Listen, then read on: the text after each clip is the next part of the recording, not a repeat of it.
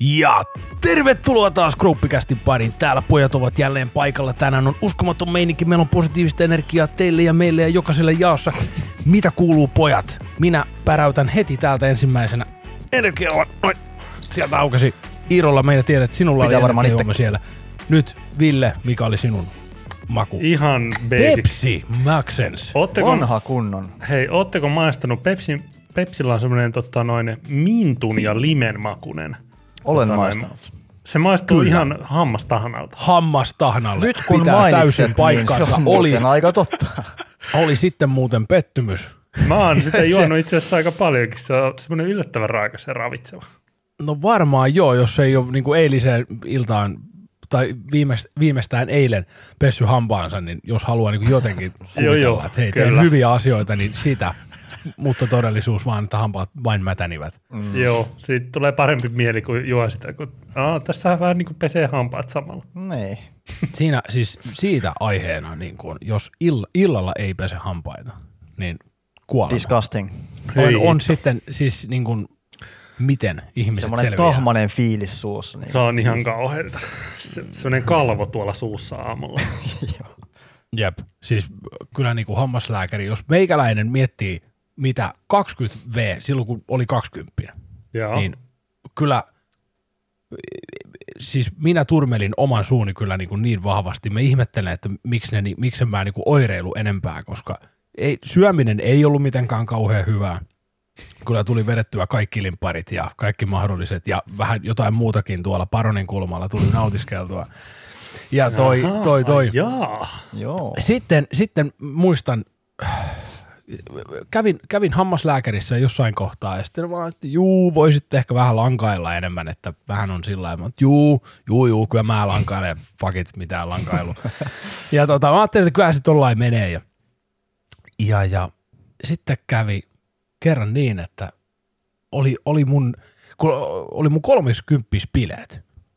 Ja sitten Uh, ni, niistä selvittiin ja sitten mä halusin pitää täällä vielä kaveriporukalla omat pippalot. Sitten mä ihmettelin, että itto kun särkee hammasta on sitten paha, mi- mikä siinä on, että mä ajattelin, että no se on joku tommonen noin vähän. Siis yksi hammas oli ilmoitellut pitkän aikaa jo, että jotain pitäisi tehdä ja minä silleen, että no se on vain joku särky. Kyllä se menee. Kyllä se menee. Ja sitten se meni aina välillä pois, mutta no niin, ei tässä mitään. Sinä iltana otan vähän puranaa, tuli synttäripippoilut, mä ajattelin, mä lääkitsen sen ihan tälleen niin kuin isoisän lääkkeellä pullosta. Mä ajattelin, että se auttaa tosi hyvin. Seuraavana aamuna aivan jumalaton särky.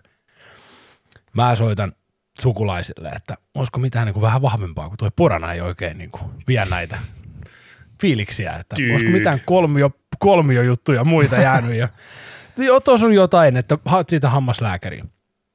Lopputulos.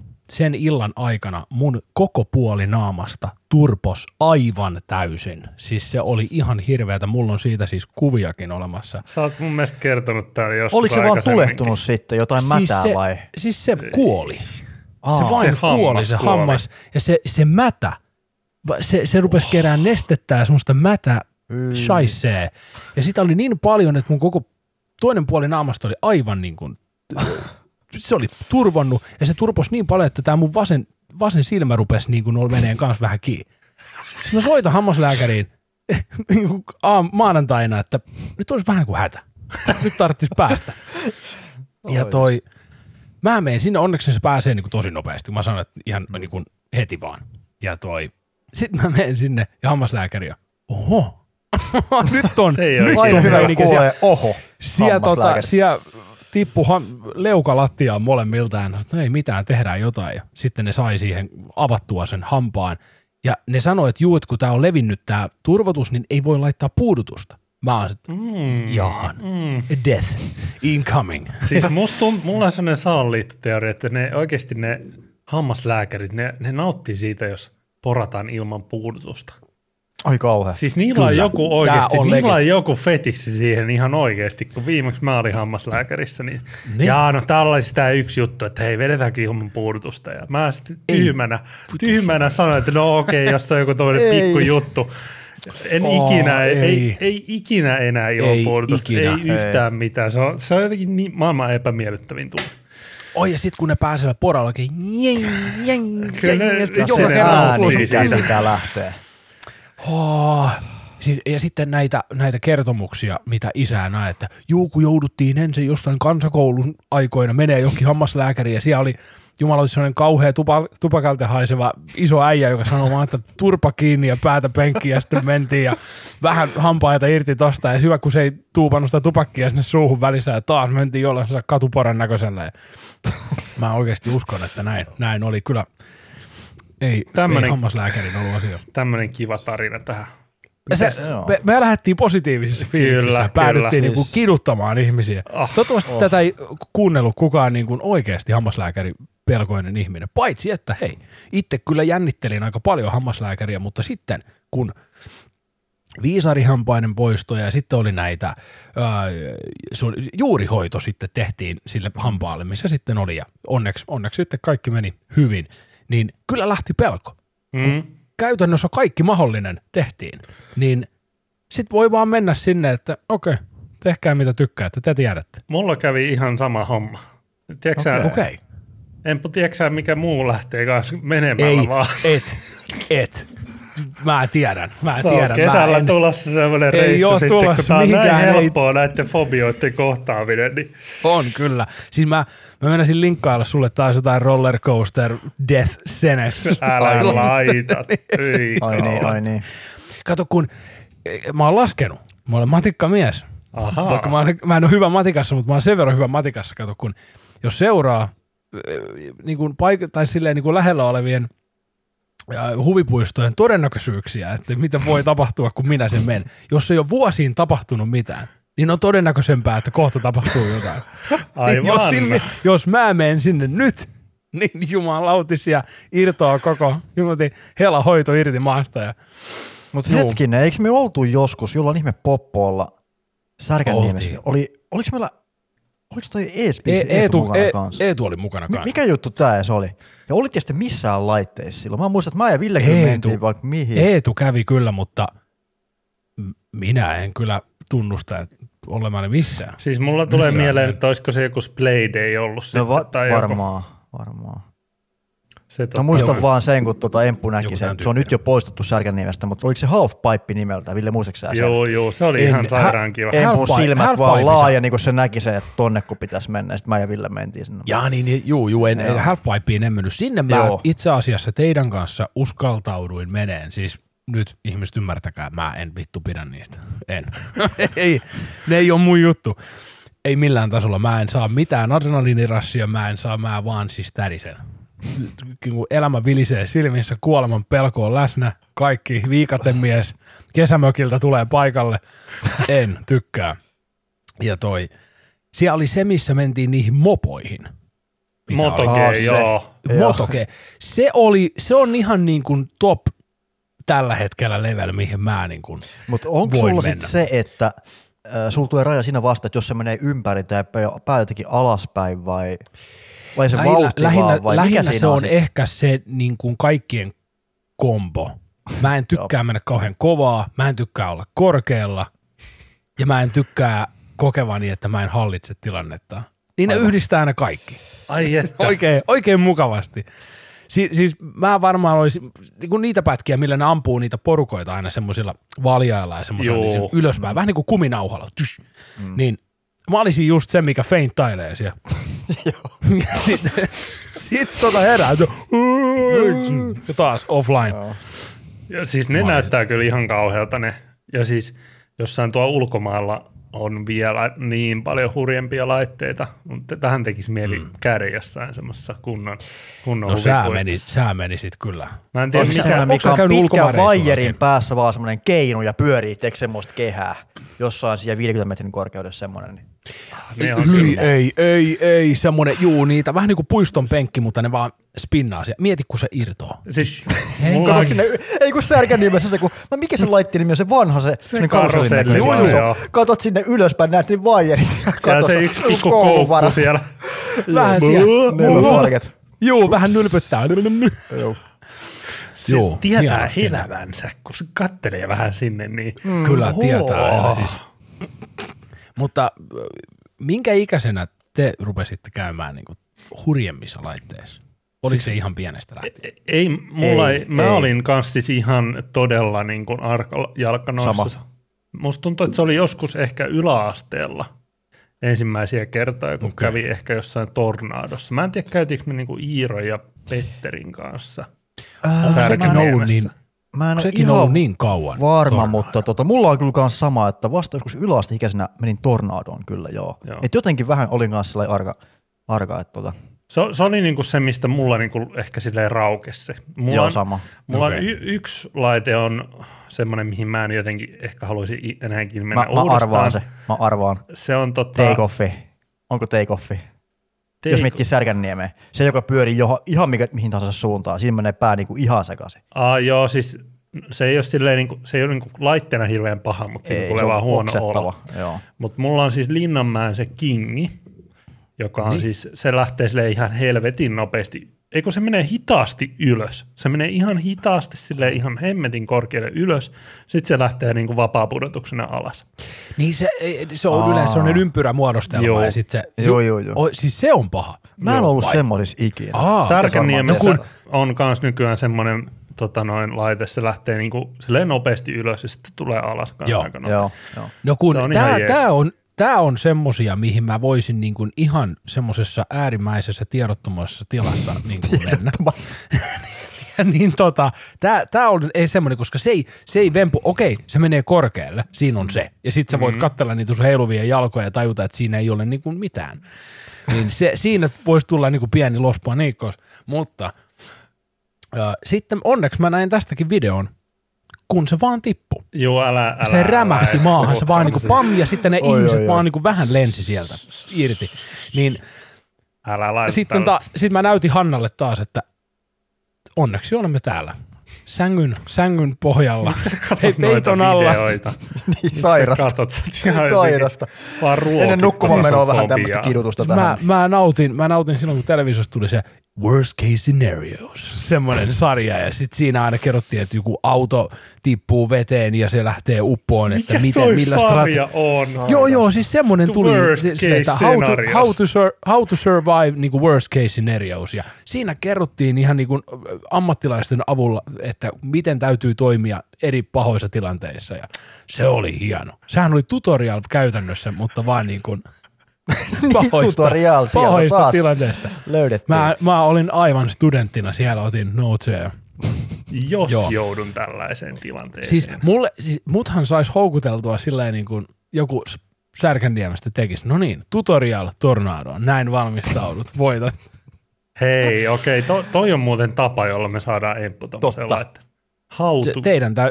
Hautu, hautu Nyt vaan tornado. joku tekee jonkun esittelyt ja tutorialivideon, niin emppukin Joo. laitteisiin. Kyllä. Onko nyt, Ei. hei, kun me ollaan tässä, Ei. onko mitään tilaa ja määrää, millä lähet tornadoon? Ei. Onko mitään? Ei, ei ole, Eikö, mä en, Ei se ole Emppu niin paha Yhtään siis, no kun me saatais se sata tonnia huomenna, jos mä sanoin.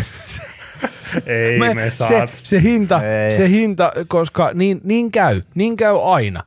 se on niin kuin, sillä, että pelkään käärmeitä. Sitten sille mene johonkin käärmehuoneeseen nauttimaan olostasi ja heti subscribers, noin, mene sinne. Ne tilaajat on kyllä, siis jos olet sadisti ja haluat kiduttaa meitä, niin tilaa meidät. Kyllä. Ihan muulla Joo, kyllä. Koska, Kyllä. oi ei, tilaajia. Pelkäämme tilaajia. Joo. Suuri Olemme hieman fobia on tilaajat. Mie, oi, siinä on muuten, o, nyt, nyt me voidaan paljastaa, kun meidän sellaisia keinoja. M- Todetaan vaan, että me ollaan niin tilaajafoobikkoja.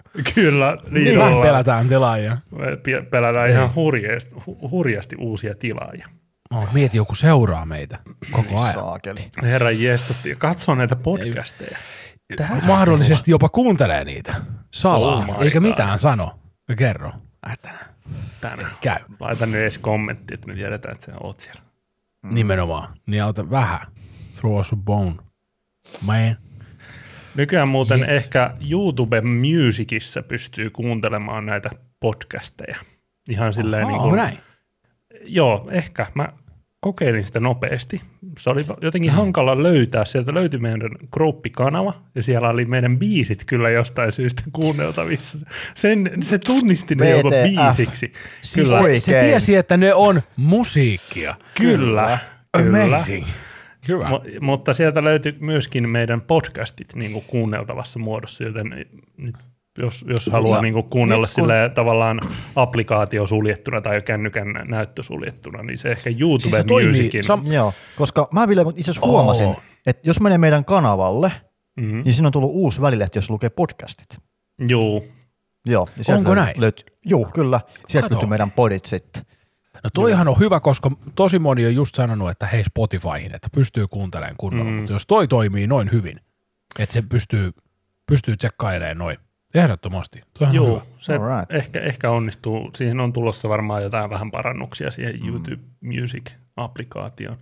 Spotify okay. niin kuin alustana on vähän sille ehkä nihkeä. et Sinänsä on mm. kiva pysyä täällä YouTubessa, mutta katsotaan ehkä joskus sinnekin, jos vaan saisi aikaiseksi. Hei, tota, Mm. mites äijät nyt kun tuosta niin todennäköisyyslaskuista päästään muist, muist, muiden asioiden laskemiseen, eli äänten laskemiseen, niin miltä nyt tuntuu?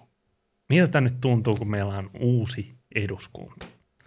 Miten Ei meni oikein vielä tiedä. Aika näyttää, aika näyttää, mutta Kai- kyllä siis vaaleja seurattu.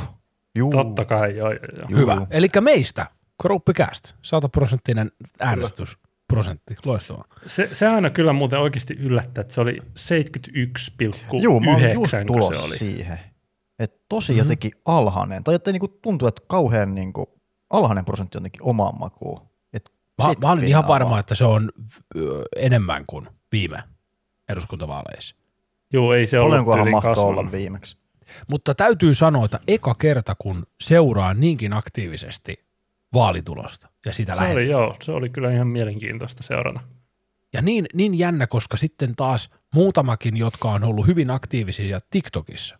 Joo, Ja, ja, ja tästä puhuttiin itse asiassa kaverikin kanssa jälleen kerran työpaikalla, että kun meidän TikTok-fiidi on vaihtunut niin kuin kaikesta hömpästä ja mitä kaikkea on tykännyt katsoa, niin nyt se on niin politiikkaa vaan tuppaa sieltä, että ja kun tuntuu, että si- siitäkin on tullut niin paljon kaiken maailman meemuja ja muuta, että se on ollut tosi viihdyttävää katsoa, mutta samalla koko ajan miettii, että nämä on oikeasti aika tärkeitä asioita, mistä Mm. puhutaan. Että hetkinen, nyt- paljon nyt on ollut- Suom- Suomessa on asukkaita, asukasmäärä.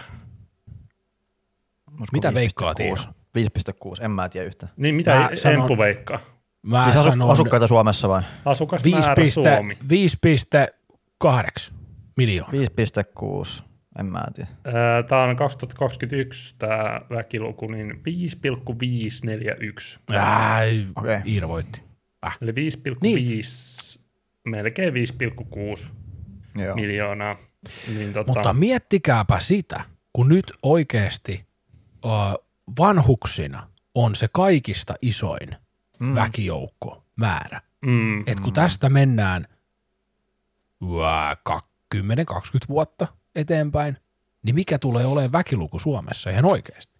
Niin, se on kyllä ihan Ja sit mielenkiintoista. kuitenkin syntyvyys laskussa, niin en tiedä mihin se sitten Niin. tota pamahtaa sitten. Että, että voidaanko me enää sanoa kohta, että 5 miljoonaa vai voiko se oikeasti dipata sen alle? Mm. Mm, mielenkiintoinen ajatus. Mutta siis toi, että 71 prosenttia äänestysmäärä, niin 3,8 miljoonaa suomalaista olisi käynyt silloin äänestämässä. Okei. Okay. Aika paljon on vielä kuitenkin. No on siinä sitten jo loppujen lopuksi on siinä niinku On paljon, siinä. paljon äänestäjiä, että Jo, on. vaikka se niinku tuntuu vähältä, mutta sitten kun rupeaa miettimään, että just jos on joku oikeasti tosi vanha ihminen vaikka, niin jaksaako se lähteä Niin, no äänestämään, tai sitten joku, mm. etki, onkohan sitten nuoret semmoisia, jotka ei jaksa äänestää. Toisaalta mä en niin kuin nuorena kyllä tiennyt hölkäsen pölästä mistään politiikasta. Mm. Jep. Et musta, Sama tuntuu, itsellä kyllä. Jep. musta tuntuu, että nyky, nykyään nuoret saattaa jopa olla ehkä valveutuneempiakin näissä asioissa kuin ehkä meidän sukupolvi. Voi olla. Maybe, ja sitten kuitenkin kyllä sitä, kyllä sitä painotetaan koko ajan, että ajat ei nyt ole varsinaisesti helpottunut tässä. Niin ja nyt tota, noit jo asioita tulee joka tuutista, joka somesta ja Mm. löytyy mm. joka, joka puhelimesta TikTokia ja kaikkea appia, niin totta kai se on niin kuin enemmän framilla, mitä silloin meidän aika kun oltiin nuoriin. Oi, oi, toi on uskomatonta, että miten älypuhelimeen, kun se nuori selaa sitä TikTokia tai mitä tahansa, niin se, se pomppaa siihen silmille, että Mm. ennen, silloin kun me oltiin pieniä, niin siitä, siitä piti oikeasti lukea ja seurata piti ja hakea opiskella. sitä tietoa. Niin, Jep. yhteiskuntaopin tunnilla kuunnellaan, kun joku opettaja siellä Oi, oi. jauhaa Kyllä. jotain. Ja mitä kamalinta mennä ihmisten kanssa juttelemaan siitä asiasta. Ei. Hei mm. sinä, oudon näköinen mies, mitä olet mieltä tästä puolueesta ja hirveä tappelu. Onko teille, onks teille vaikeaa niin puhua kautta paljastaa, että ketä te äänestitte? Onko se semmoinen pyhä salaisuus, mitä halutaan pitää? Kun osalle se on sille, että ei, en ikinä halua kertoa, että se kerro vaikka kaikki suvun salaisuudet, mutta sitä en kerro. Musta tuntuu, että si- siinä on ehkä nihkein asia siinä paljastamisessa on se just, että kun mekin nyt tälleen tässä podcastissa varsinkin höpistään mm, aiheesta, mm. niin sitten jotenkin ei jaksa sitä semmoista öyhötystä välttämättä Joo, siellä ei, kommenteissa. Et No siinä, on mielessä, siinä mielessä silleen julkisesti ehkä paljastaminen, sitten, että mitä äänesti, niin mm. Ei ehkä jaksa, kun sitten siinä Joo, ei. alkaa se niin kuin loputon tavallaan kierre siinä, että, että no miten mm. tämän puolueen tämä Niin, kun asia. se ja- on aina kuitenkin joku vähän eri mieltä ja ulisemassa, niin ei jaksa Jep. lähteä kyllä siihen kierteeseen. Niin, sit siinä alkaa Ehkä aika semmoinen, tieton. aika semmoinen Kyllä. pitkä väittely, että, Joo. että tota, mutta sinänsä niin kuin, ei se nyt ole niin sille ihmeellistä toisaalta, sit toisaalta. Se olisi hienoa, että me osattaisiin puhua näistä sille rauhassa ja Kyllä. ilman, että tunteet kuumenee niin hirveästi, mutta mm.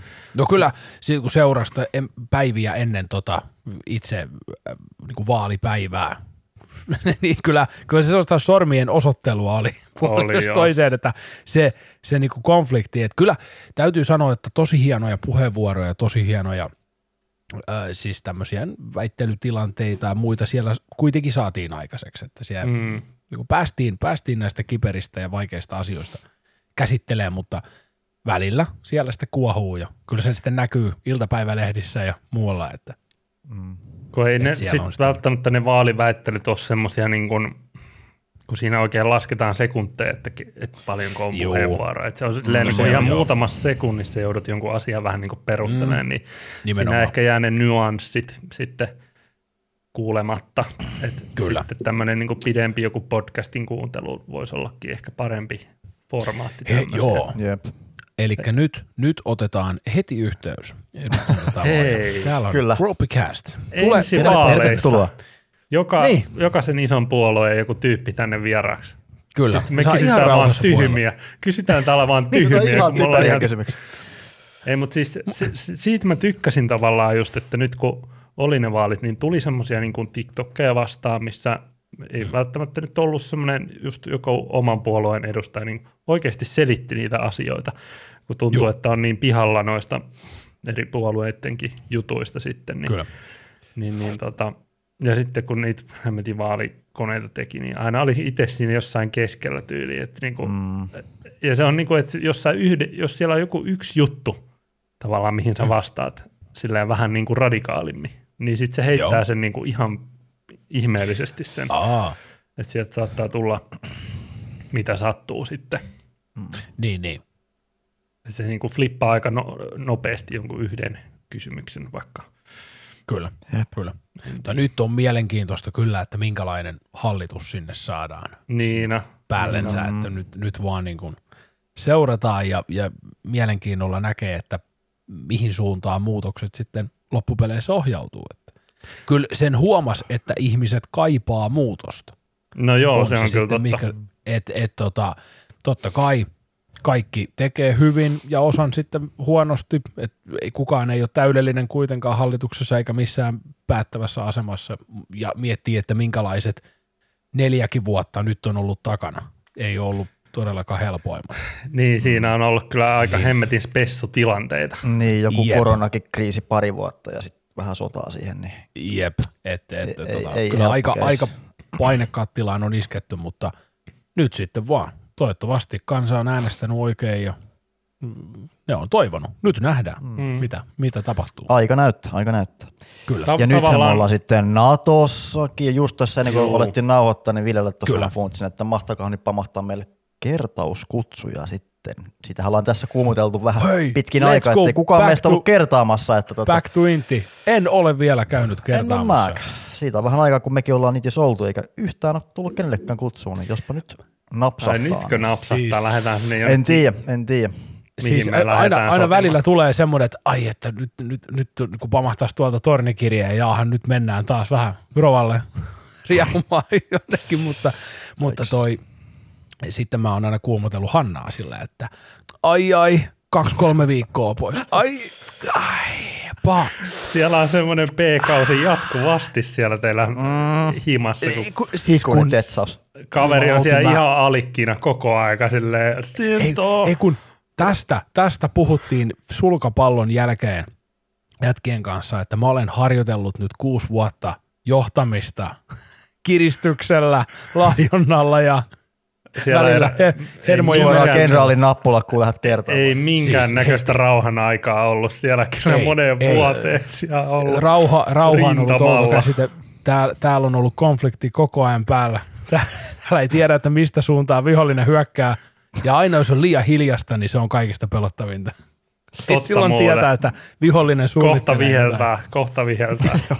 parempaan suojaan. Tai suojeluhälytys. Se on jompi Ai kumpi. saakeli. Suojeluhälytys on illalla keskellä yötä, kun kuuluu, että isi on vähän paha olo, sit kuuluu sun ja sitten sänky, lattiat, Ei. matot, kaikki. Siellä on oksua, siellä on vähän shittiä, siellä on kaikki, kaikki mahdollinen lentävä objekti iskenyt tuulettimeen ja, ja sitten vaan siinä 2.30 aamulla rupeat niitä jynssää ja pyykkää ja sitten kun se on ohi, niin sitten sieltä herää toinen ja sanoo, että nyt on kans vähän tilanne päällä. Ja sitten kun on kello on neljä, niin kolmas tulee, että iskä voisit vähän tulla nukuttaa mua, kun mä en sokeen unta. Ja sitten mä oon silleen, että Siellä ollaan No niin. kipinässä. Siellä ollaan kipinässä. pieni kipinä, Oi, oi, oi. pieni kipinä, mutta tota, tämmöistä tämmöistä se on. Joo, joo. Ei, mutta tavallaan niinku, sinänsä mulla on niinku, aika semmoinen niinku, kiva fiilis tästä kaikesta, että et niinku vähän jotain uutta. On, on. Mm, et nyt on. tavallaan niinku tuo edellinen hallitus sai aika paljon kaiken näköistä paskaa niskaan, niin Kyllä, suomeksi sanottuna. Su- suomeksi sanottuna, että okei, no nyt on sitten jotain ihan muuta, niin katsotaan kuinka paljon tämä sitten saa paskaa niskaan. Mm. Ei kun tämä just. Tämä No, just. katsotaan, Että jos- meneekö para- parempaan suuntaan ja onko ihmiset sitten tyytyväisiä vai onko se sitten vaan tämä niinku loputon kierre, että ikinä ei ole hyvä. Musta tuntuu, että ikinä Mutta- ei ole hyvä. Ei, ei Sit- kaikki voi ikinä myö, tota miellyttää. Niin. Näkee sitten neljän Niin mun- vuoden päästä, että mikä tilanne ja mitkä fiilikset. Mä nautin itse henkilökohtaisesti tästä tilanteesta, koska mä oon niin mustavalkoinen ihminen välillä. että mä, et jos ei toimi tämä puoli, niin sitten kolikko käännetään tysh, 180 astetta ympäri ja sitten katsotaan, mm. että mitä tältä toiselta puolelta löytyy. Et ehkä sitten tajuaa molempien puolien vahvuudet ja Kyllä, heikkoudet ja sieltä, kyllä. sieltä päästään jonnekin, että katsotaan. Katsotaan, Katsotaan. ihan silleen niinku siisti nähdä nyt, että mihin suuntaan tässä nyt mennään. Siellä monet on Twitterissä varmasti ollut, en mä, no siellä Twitterissä nyt on aina kaikki semmoiset äänekkäimmät ihmiset. No joo. Et sinänsä se ei nyt ehkä kerro, kerro sitten koko tu- totuutta, mutta en mä tiedä, toi NATO-juttukin, niin sekin on kyllä aika silleen kiva juttu. Et nyt siinä sitten ollaan, Joo. ja Niin ehkä se tuo jotain rauhaa tässä Mm. tähän, ainakin to, toivon mukaan jotain turvaa sitten. Et sitäkin on vähän tässä niinku perskaankot kireenä odoteltu, että no päästäänkö me sinne vai eikö me mm. päästä ja media tykkää kauheasti niinku rummuttaa sitäkin juttua mm. ja mässäillä sillä ja kuumotella. Se on semmoista kuumottelua koko aika. Niin, niin. Mutta, mutta Ja sitten on- sitten, se, ja se, on- se on myös niinku kiva, että nyt tämä saakelin vaalihössötys on ehkä No sitten juu. ohu, No ohi äläpä. niinku se semmoinen niinku riitely, että se on nyt, nyt ne tyypit on siellä ja ne riitelee nyt sitten siitä, että kuka sinne hallitukseen pääsee. Mm. Kyllä. no, ja en sitten on aika lunastaa ne lupaukset. Niin. Ja toivottavasti siellä ei, ei tule tämä Andy McCoy meme, että vittu kun meitä halpaan. No joo, taas nähdään. Mutta jo, saa nähdä, saa nähdä. Nyt, Kyllä, nyt siis saatte sinne kommentteihin tulla öyhöttämään kaikki meidän kuuntelijat. Sinne vaan. mielellään. Teidän spekulaationne. Se olisi Kyllä. ihan mielenkiintoista silleen kuulla kuitenkin. Kyllä että mitä, mitä jengi on mieltä tästä, että se on, kyllä sitä ääni oikeuttomaan kannattaa käyttää, että Mm. Ei Kyllä. tässä niinku muuten auta valittaa niin sanotusti. Ei, Juurikin ei näin. Saa. Yes, mutta nyt olemme hoitaneet Suomen taas paremmalle raiteelle. Kiittäkää meitä. Ketä me nyt tässä kiil... Ai, Krouppi on. Kyllä, me Meidän olemme pitää ohjanneet Kyllä, kyllä. kansalle, kyllä heti, koska meidän ohjauksella ihmiset ovat äänestäneet oikein. Aivan varmasti, juu, kyllä. Joo, joo. Kyllä. Koska täällähän ollaan poliittisista aiheista. No Okei, nyt Oh, ja me, ja, ja, siis niin, sitä piti sanoa, että ihan jäätävät respektit näille ihmisille, jotka ihan oikeasti on niin kuin hyviä poliitikkoja. Koska Joo. niiden täytyy tietää ja osata älyttömästi juttuja. Mm. kun väli, välillä, jos kun itse joku aihe liippaa omaa intressiä, niin siihen on helppo lähteä mukaan. Sille seuraan sitä hommaa, Joo. miten se, miten se aukeaa. Mutta avot, kun sieltä tulee joku semmoinen, mistä itse olisi aivan ulalla, niin. ja, ja se voi olla joku semmoinen oikeasti nopea, että se on tapahtunut tyyliin ihan juuri, ja sitten sieltä tulee tysh, mikkiä naaman eteen, että mitkä ovat sinun, sinun tota, reaktiot tähän hommaan, ja miten, miten te aiotte nyt vastata tähän ja näin, ja se, se, se semmoinen heti hirveä paine päälle, ja haetaan, siellä on lehdet hakemassa jotain hyvää clickbait-sensaatioa taas no, seuraavaksi. mutta mitä kato. Emppu, sä oot hyvä puhumaan. Mm, Niin, niin aina Se- voi ottaa puhelimen muutama käteen. Vuosi tästä, nyt- niin Emppu on siellä Kyllä. just. Ah, Emppu Yes. sinne, Emppu sinne ensi, ensi tota kaudelle. Sitten tota, noin määrät sieltä meille kanssa jokut eläkkeet, jokut hyvät sopeutumiseläkkeet. hei, kaikille YouTuben Podcastajille. kyllä podcast-puolue, heti Kyllä. hirveät tuet. Mä- Podcast-puolue. Kyllä Let's mä lupe, lupaan tukea sun vaalikampanjaa tuhansilla ko- miljoonilla. kaksi äänestäjää. Kaksi äänestäjää. Sieltä Let's läpi. Go. Let's go. Oma, oma ääni itsenäinen. Joo. No, Mut toi- okei, mä voin pa- paljastaa, mä äänestin kristallipuolelta. Ei saisi nauraa, mutta vähän kristallipuolue. Ai siis väi- väitätkö, ettei kristallit oikeasti niin paranna sua? Siis se No. sun, ha- sun hammaskin olisi vaan kristalleilla parantunut. No periaatteessa, kun sitä olisi vähän jauhanut tuossa puruhampaan kohdalla, niin kyllä olisi lähtenyt mätä pois äijästä. Kyllä. Nopeasti. Heti. Kristallin kirkkain silmin olisi. tota noin Siis vaan. kristallipuole. Oh. Kyllä Nyt siellä- päästäänkin tähän. Siis kun on näitä uskomuksia, on, on äh, horoskooppeja ja on kristallikoruja ja on mitä kaikkia näitä kädestä ennustamista ja kaikkia hienoa sellaista niin kuin vähän yliluonnollista parantavaa voimaa, niin onko, onko teillä ollut joskus jotain, mihin te olette silleen vähän niin kuin uskonut? Vähän niin kuin ehkä puoli läpällä, mutta kuitenkin vähän sillä että there might be something. Mä muistan, että mä joskus keräilin semmoisia erikoisia kiviä, mitkä oli vähän eri, erinäköisiä tämmöisiä, mutta en mä, en mä koskaan niin ajatellut, että niissä on joku parantama voima. Jaa. Tai muistatteko tämmöisen sormuksen, mikä oli se, se mikä muutti väriä? Sen Niin, tai joku että- mielialasormus. Juu, Joo, Se oli joskus ala-asteella joku juttu. Mutta, Kyllä. mutta täytyy nyt sanoa, niin ei ole, siis ei, en, ei ole kyllä omalla kohdalla mitään tämmöistä kauhean, niin kuin, en usko kyllä mihinkään horoskooppeihin. Että, tota, en lähde kyllä tähän kelkkaan. Wow, wow, Siis, wow. Et ah. sä vois sanoa noin. Horoskoopit on täyttä totta. Kyllä. On. Jos, Siellä jos, pitää Martta kaikki- 66V kirjoittaa niitä työksään jossain perähikielä, niin kyllä Mieti, luotan hei, elämäni hänen käsiin. Niin tuota. mikä ammatti? Siellä on seuraaja apulehti sillä että no niin, Markku, mitkäs on oinaan tähtimerkit tällä hetkellä, mitä, mitä voimme odottaa? Ja sieltä jostain Tällä- ryökihöystä huolesta, no nyt tänään raha on tulossa ja sillä on hyvä rakkauselämä. Mitä hittoa, Tuoppi- Iiro, sä, sä oot ihan siis täysin, niin kuin, sut on tehty tähän ammattiin. Voitko Joo, kertoa siis meidän ei. horoskoopit nyt, Iiro? Ei, mut please? siis- Mikä, mikä Ville Mä on niinku- horoskooppi? Härkä. Mä oon leijona, leijona. Oho, meillä on kaikki eri kala. No. Voin- Pitäisikö oh, mä katsoa, nyt- mitä meidän katsotaan. horoskoopit sanoo? Mä kato. Hei joo, no niin. Kat- Ville no katsoo, niin, no niin.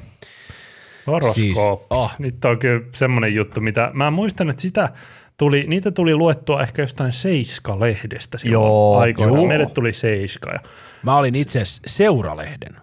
aha, okei, lukija. teillä tuli ja, se. ja Apu, ja Apulehti se oli joskus. Ne oli kova. Sieltä löytyy. Päivän horoskooppi. No ei, onko täällä mitään väliä tällä päivällä? Ei. On ei, tällä. ei, kun ei, te, kyllä- onhan tällä. Tää on. No, hei, No me tiedetään, jos se on Astral ollut TV. vanha. Astral TV. No niin, siis suoraan mentiin- syvään päätyy, let's go. Täällä on nyt härän päivähoroskooppi Älä pohdiskele sitä, miksi et tule onnistumaan, vaan kerää argumentteja sen puolesta, miksi sinun täytyy jaksaa yrittää tehdä parhaasi. Kun näet saavutettavissa olevat edut, esteet alkavat tuntua mitättömiltä. Nosta rima korkealle. Sinä pystyt suoriutumaan, älä välitä muista. Jos toimit itse positiivisena esimerkkinä, saat pian seuraajia ja tukijoita. He tarjoavat apuaan pyytämättä, sillä he uskovat sinuun. Tarkoittaako tämä sitä, että me saadaan lisää tilaajia? Saat seuraajia. Se, se tarttu kyllä nyt tonne korvaan. Hetkinen, tässä ollaan jonkun jäljellä ehkä. Älä po- onko mä nyt pohdiskellut sitä, että miksi mä tuun onnistumaan? No toisaalta toi on niin mun elämässä hyvin yleinen teema, että sitä jatkuvasti sillä niin miettii, että mitä helvettiä mä teen tästä nyt. Et tota, pitää nyt varmaan kerää niitä jotain argumentteja sen puolesta, että mä jaksan yrittää parhaan. Mä uskon, että tässä kohtaa moni ihminen kuuluu enemmistöön. Sä, et, mitä, mitä vittua mä täällä teen? Mitä, mitä tässä nyt tapahtuu? Mutta sitten kelaa kuukauden päästä oikeasti, että "Haa, silleen se taas vaan meni. Mikä, Hien- sä, mikä semppu oli? Mä olin kalat. Tää vittu, eikö sä allerginen kaloille? Häh? Ole. Wow. Olen itselleni allerginen. Tuleeko sulle, että jos mä nyt luen tän, niin tuleeko sulle joku oire? Onko sulla joku semmoinen, on- Kurkku turpoakin. Mulla on tuossa tota tyrtekkiä. Niin onko tyyritekkiä tästä siinä lähellä? No niin. vähän, vähän tyrtekkiä. Otetaan vähän monsteria kanssa, niin ehkä se menee sillä Nyt, nyt, nyt on mood, nyt on emppu mood. Tää heti eka, Äläs nyt. eka No niin. tota noin lause. Vittu masennus. Olet tänään väsynyt, joten sinun ei kannata yrittää hoitaa yhtä aikaa montaa tehtävää. On olemassa se vaara, Allekirjoitan. Että langat eivät pysy käsissäsi, mutta jos jaksat keskittyä ja olet päättäväinen, voit edetä valitsemallasi, tiellä. Sinun kannattaa keskittyä myös yksityiskohtiin, sillä virheitä tulee useimmiten silloin, kun teet asioita suurin piirtein. Onneksi tämä päivä ei tu- tuo tullessaan yllätyksiä ja langat pysyvät käsissä. Aa, eli tänään. Tänään niin kun ne pysyy. Vai onko tämä huomiseen? Tää Voinko mä on- luottaa, että mulla nyt huomenna on langat käsissä? En mä tiedä, tänään on, tänään tää nyt on ollut, tota, noin, sulla on ollut kaikki No no, tänään-. No nyt, nyt, kun, nyt kun oikein tällä pohditaan tämmöistä astraali niin todistetta, että miten, miten tässä mun päivä on mennyt, niin kyllä langat on yllättävän hyvin ollut itse asiassa käsissä. Ei, no, no hätä. Oho. Tässä on monta kiveä vieritetty sydämeltä ja mä oon saanut asioita eteenpäin. Niin tämä oli ihan oikein.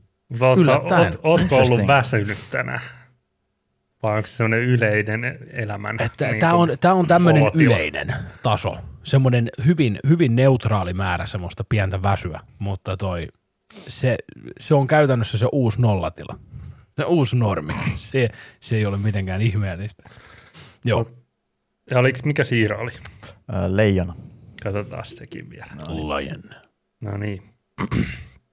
Päivän horoskooppi, leijona. Keskity tehtävään. Et voi edetä, jos ajatuksesi harhailevat. Jos et jaksa keskittyä, teet virheitä, ja niiden korjaaminen vie oman aikansa. Pidä välillä taukoa ja käy ulkona nauttimassa keväisestä ilmasta. Samalla saat ajatuksesi järjestykseen. On tärkeää antaa menneiden olla ja keskittyä tulevaisuuteen. Voit työstää menneitä myöhemmin. Tee se sellaisella hetkellä, jolloin sinulla ei ole kiire ja ehdit ajatella asioita kaikessa rauhassa. Joo, kai sieltäkin joku osu, että tota, se oli ihan hyvin sanottu, että käyt ulkona ja vähän tälleen, kun ollut vähän tästä pientä väsymystä taas tuossa justiinsa ennen kuin aloittiin nauhoittaa, niin totesin Villelle, että tänään taas kello on sanonut 4.55 ja vähän tässä uni alkaa painaa, niin kyllä tuommoinen ulkoilu on kyllä ollut ihan hyvä Mm, tänäänkin piristänyt. Että kyllä sielläkin muutama osu, mutta en, en mä ole silti ihan vakuuttunut kuitenkaan tästä näistä horoskoopeista vielä. tota, on- Tästä, tästä oli joku, mä en muista oliko se Darren Brown, joka teki semmoisen testin ihmiselle, että hän on, se oli kutsunut joku tyylin kahdeksan ihmistä ja sanonut, että hänellä on teille tota, teistä kertova tämmöinen vähän niin kuin horoskooppityyppinen juttu. Ja se on suljettu kirjekuoreen.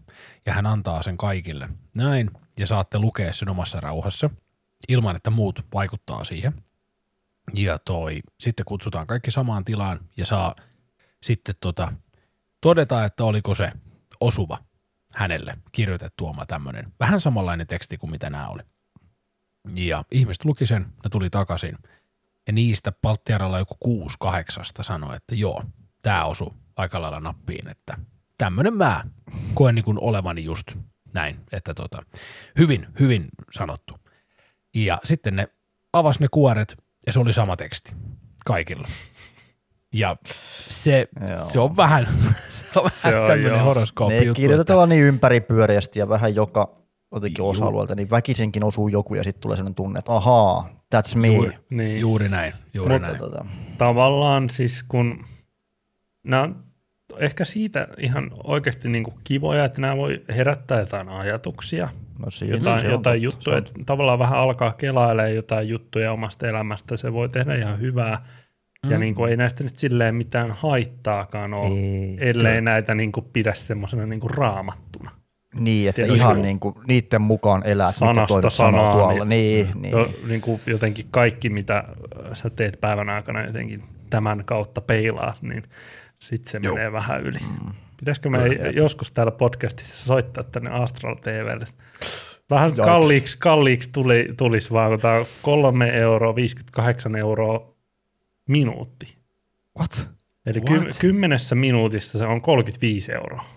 Kymmenen min No mutta hei, kymmen, kyllä kymmenen minuuttiakin jo saadaan niin kuin, se on worth it. Oho. Onko Me saadaan saadaan vastauksia suuriin asioihin.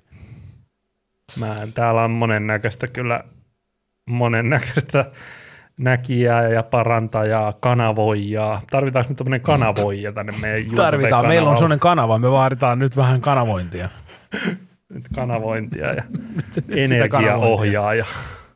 Oi, Energy Siitä. Master. Energy. Siis mä haluan siitä ja mun sakrat on ihan morjeksessa nyt, niin kuin joku muokkaa niitä heti. Oh. Joo, on tää kyllä. On tää. Oi. Siis mä, mähän menisin ihan loputtomasti seuraamaan näitä tämmöisiä just chi-ohjaajia ja kaikkia tämmöisiä sakramestareita, koska ne on mielenkiintoisia.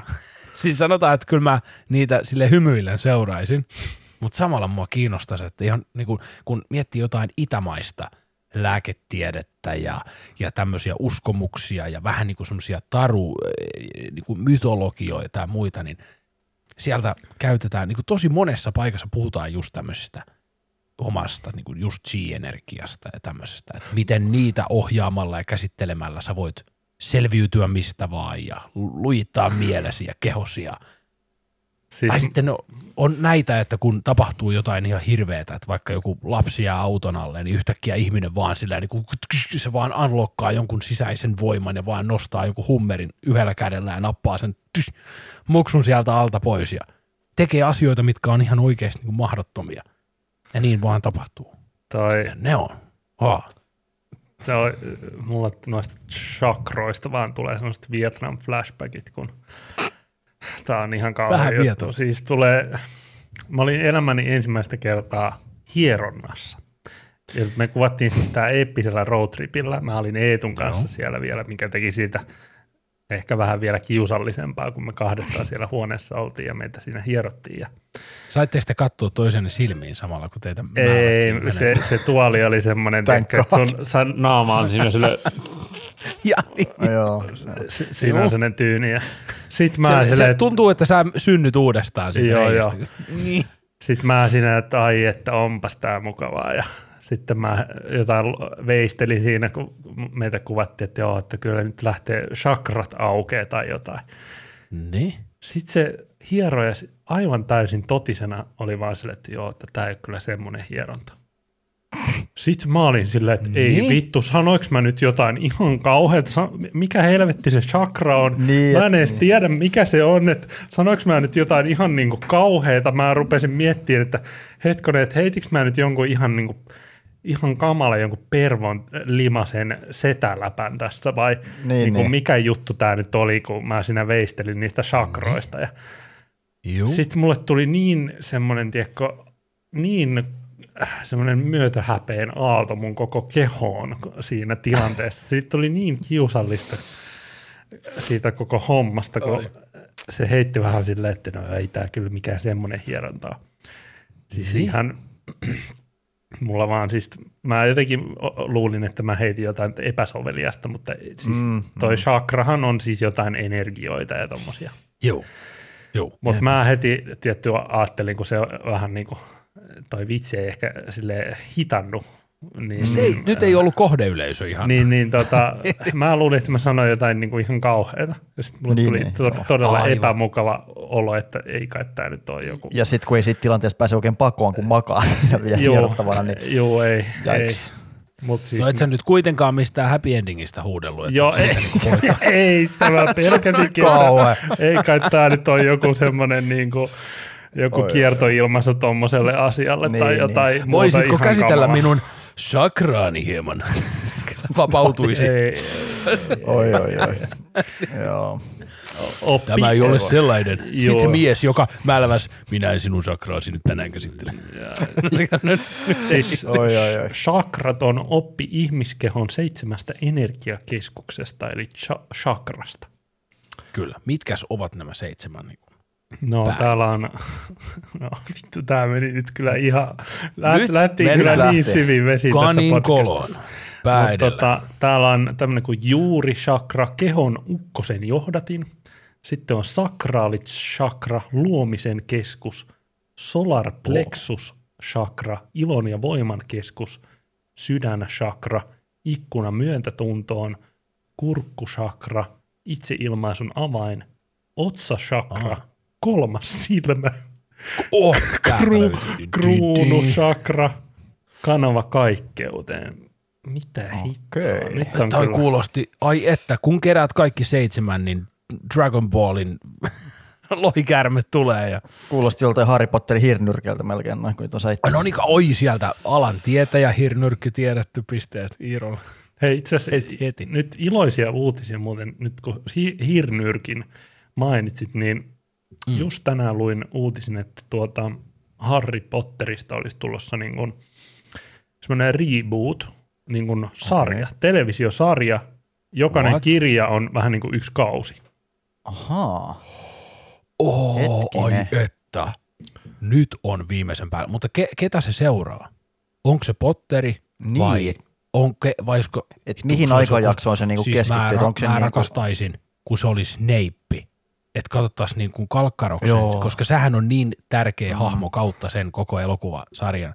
Ja miettis, että kuvattaisiin niitäkin aikoja, kun se oli se Death Eater soluttautunut mm. sinne Voldemortin kanssa ja aikaa ennen Potterin niin kuin tappoyritystä ja kaikki. Oh, Tämä, siis, tämä uutinen on totta noin tullut just tuossa eilen, että Warner Brothers niin kuin aikoo reboottaa Harry Potterin HBO Maxilla ja sitten tässä niin kuin, öö, että sarja niin kuin tulee niin kuin olemaan yli seitsemän niin kuin, kautta kautta.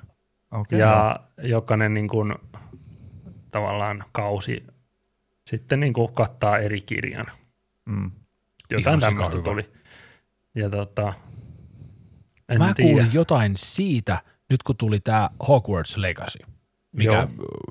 tota, oliko se nyt 200 vuotta vai montako sataa vuotta ennen Harry Potteria Niin. ne nämä tapahtumat sitten tapahtu, niin, niin ää, siitäkin oli ilmeisesti puhetta, että tämän pelin perusteella oltaisiin tekemässä niin kuin, sarjaa, joka pohjautuu just tohon, tohon tota, aikakauteen, mutta mä en ole ihan varppi siitä, mä tällä niin kuin sivusilmällä kuulin.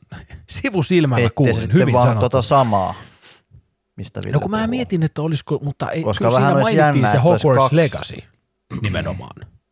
Mutta Et- tämä on et- ilmeisesti ihan vaan niinku niistä Harry Potter-kirjoista. Okei. Niinku, et Joo, on joo. se parempi. kuulostaa ihan mielenkiintoiselta, mutta tämä nyt on varmaan, niinku, tulee sitten joskus sadan vuoden päästä kyllä. varmaan. Niin. Mutta tavallaan kyllä Potterista. olisi kyllä ihan siisti nyt, kun ne ihan ekat Harry Potterit on kuitenkin, ei ne on ihan niin hienoja vaikka kun se ihan vika. Niin, niin Ah. tosta voi tulla kyllä Niin, ihan no juu. siisti. Ja sitten kun saisi niinku vie tolleen vähän pidemmin sen tarinan mm. kerrattua, niin se olisi kyllä aika, Totta. aika tosi Kyllä. jees. niin kun miettii niitä kirjoja, ja nyt kun mekin ollaan luettu sitä kolmoskirjaa, Askabanen vankia tuossa Auroran kanssa aina iltas, iltasaduksi, Joo. me tota, käydään näistä muutama sivu aina eteenpäin, ja nyt oltiin, oltiin junassa menossa tylypahkaan ja siellä tulee ensimmäinen ankeuttaja vastaan ja Aurora tiesi, että mitä oli tulossa ja sitten se oli hyvä, kun se oli siellä peiton alla sillä silmät näkyy, että tuleeko nyt se ankeuttama, että yes. Siis Nyt- se, on, se on muuten yksi se kuumottavimmista tulee. Oh. jutuista siinä. Siis se, kun se ekan kerran tulee se ankeuttaja, niin se on, se on ihan superkuumottava juttu. Oh. Ja sitten se, muutenkin se Sirius Mustan hahmo, ja kun se on Se niin on ihan niin kuin revitty jostain pimeästä rööristä, aivan täysin kidutettu äijä ja haluaa vaan tulla äkkiä tapaa häriä ja kostaan pahiksille, mutta oh.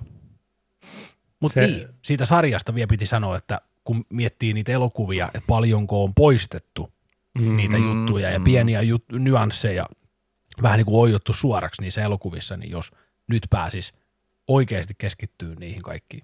mm, Mutta kuka olisi Potteri? Niin mä mietin kanssa, että Niinpä. kuka sit siihen rooliin lankee. Tom on- Holland is the new Harry Vittu Potter. mä en jaksa, jos se on ja sitten Severus Snape, Chris Pratt. Chris Pratt, voi vittu, se on siinäkin. Melkein kyllä me, toivoisin, että ne on jotain vähän niin kuin, ei niin tunnettuja näyttelijöitä, jotain ihan uusia kasvoja. Sekin Joo. Tuntuu, että niin kuin, ihan samat naamat pyörii aina noissa kaikissa. Niin ihan, joku, ihan täysin uudet. Mutta siis semmoisia up and coming uh, hyviä näyttelijöitä, millä on niinku oikeasti niinku taitoa näytellä mm. hyvin, mutta ei ole vielä preikannut minkään roolin kanssa. Sitten siinä on kyllä vähän sekin, että sit ne on taas ne hahmot. Ne on ne hahmot loppuelämänsä sitten. Kyllä. Dan- Daniel Radcliffe varsinkin, niin se, se, sen on Joo. ollut kyllä tosi vaikea varmaan päästä Joo. siitä roolista pois. Oh. Vaikka Kyllä ihan se on hyviä yrittänyt. rooleja niin kuin on vetänyt kyllä niin kuin muissakin mm. sarjoissa, Joo. että eipä siinä. Oh, oh. Mut ja silleen se- kun miettii vaikka Robert Pattinsonia, joka oli niin kuin Twile, Twilighteissa, niin mun mielestä se on tehnyt niin kuin, mun mielestä aika hyvin päässyt siitä roolista Oh, pois. on, se on tehnyt on, ihan on, pirun on. hyviä rooleja niin kuin jossain muissa, muissa sarjoissa. Oh, ja nyt tässä Batmanissa, mikä tuli, se oli ihan älyttömän hyvä. Joo, ja nythän ilmeisesti tykkäsin. Batman 2 on tekeillä. Joo, mä ootan kyllä, mielellään kyllä nä- näen siitä maailmasta niin kuin lisää. Hei, se, se muuten mennään kattoon yhdessä sitten, Batman Mennään. 2. Te tuutte Joo. nyt sinne hemmetin IMAXiin vihdoin. Nimenomaan. Aivan. Just kä- kävin katsomassa siellä sen John Wickin, Emppukin, se, sen Joo. oli käynyt kattoon, niin se oli kyllä hieno. hieno Kyllä. Tota noin. Vaikka me et siitä itse asiassa vähän höpistinkin Empun kanssa tuossa, mutta et se, siinä on Se- niinku parasta toimintaa ehkä silleen niinku toimintaelokuvana niinku Oi, parasta pitäis- luokkaa. Niin. pitäisi niin kuin viimeisen kymmenen vuoden aikana parhaat action-elokuvat, niin John Wick olisi melkein eka, minkä sanoisin, että ehdottomasti katsoa, jos tykkää niin kuin hyvin koreograafisesta mäiskeestä ja Joo. actionista. Joo. Mutta tämä oli jännä, kun miettii sitä John Wick ykköstä, Mm. mikä oli hyvä, kans sekin, mutta nyt kun katso eka, no ei, ei, en katsonut eka, mutta siis sanotaan viimeisin muistikuva oli tästä nelosesta, mikä oli niin täynnä actionia se koko Mm, mm, elokuva, ja sekin oli mm. semmoinen y, niinku kaksi ja puoli tuntinen action-pläjäys, missä ei paljon taukoja pidetty, niin sitten kun katsoi sen ykkösen, niin huomasi jotenkin sen kontrastin, että kuinka vähän actionia loppupeleissä siinä ykkösessä oli. Mm. Mm. Et se, siinä oli vähän enemmän semmoista pientä taukoa, vähän ehkä rakennettiin niitä hahmoja vähän paremmin. Mutta mut nyt tarvitsisi kyllä katsoa uudestaan se kakkonen ja kolmonen, koska ne vielä vei sitä gunfoota ja sitten oli horsefoo ja carfoo ja kaikki Joo. Joo. mahdolliset tavat, millä ne taisteli siellä. Niin. Et kyllä siinäkin on mielikuvitusta saanut hiukan, hiukan äijä käyttää, että hei me ta- taistellaan nyt sapeleilla hevosten selässä. Kyllä, kyllä. Totta kai. Koska miksei. Ja kun pääsi, niin, no why not, why not. Ja sitten tämä behind the scenes pätkiä, kun Keanu Reeves harjoittelee aseradalla niitä aseiden käsittelyjä, latauksia, ampumisia, niitä liikkeitä, ja kun se tekee ne itse mm, oikein, mm. mm. niin kuin oikeasti käsittelee, niin kuin hieno ta, niin kuin taito opetella tuommoiset kaikki. Jep. Keanulle, Keanusta tuli oikea John Wick. Sinne, nyt kun sinne menisi joku, niin jätkä vaan käsitteli asetta siinä ovella vähän aikaan. Kiitos, lähden pois. Joo, lä- käännyin 360 astetta ja lähden menemään. John Wickihän muuten ei sen nelosessa puhunut ihan kauhean montaa sanaa. Joo, ja niistä ei. 40 prosenttia oli Yeah. Niin oli joo. Yeah. yeah. Et si- sinänsä niinku, ei niitä niinku leffa ehkä mennä sen tarinan vuoksi välttämättä katsomaan, mm. että se on enemmän sitten Kyllä. just sitä Mutta- itteensä. Mutta miettii, kun, itämais, niin kun idän osuutta leffoissa, että miten breikkaa, niin mitä vähemmän itse asiassa puhetta, niistä paremmin se menestyy idässä. Ahaa. Tuommoinen to- action elokuva. Okei. Sen takia niissä oli karsittu aika paljon sitä puhetta. Ahaa, enpä tullut Tää- ajatelleeksi. Tämmöisenkin törmäsin jossain. Et tota, aika mielenkiintoinen, en ole miettinyt, että ehkä se on sitten vähän vaikea, että jos siellä täysin englantia puhutaan joka paikassa. Ja Hei, Oli täällä, on, oli- täällä on tämmöinen on stati- Venäjääkin vähän se. statistiikka, että Reeves olisi saanut per repla tuossa nelosleffassa niin 39 000 dollaria. Per repla. Per sana Joo. vai? Vai Niin, tai, repla? ei, kun, ei, kun siis anteeksi, per sana, joo. 39. Hetkonen. 39 000, joo. No sanotaan, että siinä on meillekin hyvä tavoite. Tälleen niin kuin krouppikästi. Niin, Aina mä oon ihan samaa tässä. mieltä kyllä, joo. Mä oon ihan samaa mieltä. Kevyt Siinä kaksi puoli tuntinen joka viikko. Ja jokaisesta sanasta 39 000. Ihan sairasta. Siis siinä joutuisi OPlle ottaa yhteyttä, että avatkaa nyt pikkuhiljaa niitä tilejä, että nyt, nyt tulee niin kuin ovista ja ikkunasta pikkasen huolella. Ai että. Heti. Vielä joku päivä. Siin, sit, Oho. tässähän ei saisi puheenvuoroa enää kukaan, kaikki puhuisi päällekkäin koko aika. Sille, sovitaanko, että tästä jaksosta jäisi semmoinen 38 miljoonaa takataskuun? Sen mä tarvisin sille nopeasti. Niin, niin mulla tässä yksi iso lasku tulos, niin hei, mun pitää nyt Jep. vähän höpistä. Mutta miettikää Uhu. hei semmosia oikeasti niin kuin ihan järkyttävän rikkaita ihmisiä, joku Pesos tai joku tämmöinen. Että ne voi mennä vähän viettään iltaa, niin ensinnäkin tarjoaa kahdelle ravintolalle niin kuin käyville kaikki ruuat, NNS, ja sitten kaikki kyyditykset, kaikki hotellit, kaikki näin niin kuin, kä- käytännössä niin kuin all expenses, niin kuin Pesos maksaa. Ja sitten se herää, se, se on viettänyt oikein kuin railakkaanilla. Se herää sunnuntaina. Ja se katsoo sinne pankkitilille. Silloin enemmän rahaa kuin se, milloin se käy niin kuin oli eilen. Sieltä ei tule semmoista morkkista, että god damn, että mi- mitä on tullut tehtyä. Että sellainen perhonen lentää sieltä älypuhelimesta vaan pois sieltä pankkitililtä. Että huu, huu, tyhjä. Siis, ja to, toi on kyllä silleen niin kuin mielenkiintoinen ajatus, ja sitä nyt on varmaan pohdut, pohdittukin aika paljon, just vaikka jossain Jenkeissä, että tarvitaanko me oikeasti jotain miljardöörejä, tiedätkö? Mm, Siis, se- tai niin kuin, paljonkohan Bezosilla mm. nyt on vaikka rahaa? Sillä on joku varmaan 100 miljardia. Katsotaan. Siis sillä, sillä oli kuitenkin niin paljon, että sen eron jälkeen, mieti puolet, lähti Niin. sen ö, ex-muijalle ja siitä tuli heittämällä maailman rikkain nainen. Silloin oli niin paljon rahaa. Onko sillä täällä on on niin kuin net noin. worth on tällä hetkellä Bezosilla 126 miljardia. Sitten täällä Aika lukee, sitten lukee Elon Musk olisi 202 miljardia. Oho, Ja sitten Bill Gates 110, sitten joku tämmöinen Bernard Arnault. hei Mutta Bill Gates, yrittäisi edes. Bill Gates Ai- ihan Tuommoisilla taskurahoilla pelaa, hei, voisi vähän niin kuin rahaa tehdä välissä. 110 milja- miljardia. Löysä äijä. 110 miljardia, mieti. Siis ei, ei billion. sailu pää. 126, hetkinen, onko se, mitä vittua, miljardit, onko se 126 000 miljoonaa? Ootas nyt, juu. O- on, on, on. 126 000 miljoonaa. Niin. Onko Et se se- paljon? O, niin kuin, siis mietin vaan, että tarviiko toi vitu jätkä noin paljon massia? Eikö se nyt vaikka yhden miljardin voisi meille antaa tai jotain? Niin. Vähän Ei, to, toi on, niin. Tuossa tulee hiukan mielenkiintoisia kysymyksiä. Nythän itse asiassa oli taas uutisissa näitä lottovoittajia. Normi-ihmisiä, millä on käynyt tuuri ja ne on voittanut lotossa. Hirveän mällin rahaa ja sitten ne on tuhlannut sen ihan sikanopeasti ja sitten ne valittaa, että he on masentuneita, heidän elämä on pilalla ja kaikki on aivan shaisee ja ystävät on mennyt ja kukaan ei niin kuin enää, ketään ei kiinnosta ja niin kuin, miten tuommoinen rahamäärä, kun se tulee vähän niin kuin lahjaksi, sä et ole siihen eteen tehnyt muuta kuin kynällä vähän raapustellut oikein tuurilla, niin, niin, niin ihmiselle, joka ei ehkä osaa käsitellä rahaa kauhean fiksusti, ja sit sulla on sitä ihan jumalattomasti. Mutta miten se vaan valuu niin kuin hiekka käsistä pois?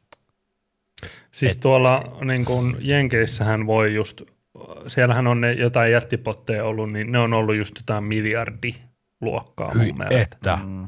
Tällä hetkellä taitaa olla 385 miljoonaa.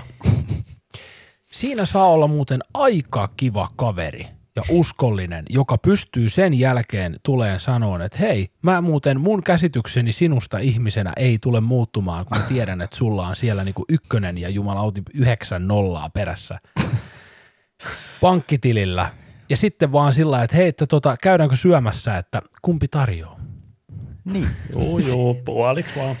puoliksi vaan, niin se ei olekaan helppo. Ja miettii, että jotkut sukulaiset, mitä sä tekisit itse? Antaisitko sä ensin heti kun 10 miljoonaa per tyyliin, niin kuin, tyyliin vanhemmille ja lapsille ja muille, että joo, että tosta noin jakakaa näin, koittakaa pärjäällä näillä rahoilla.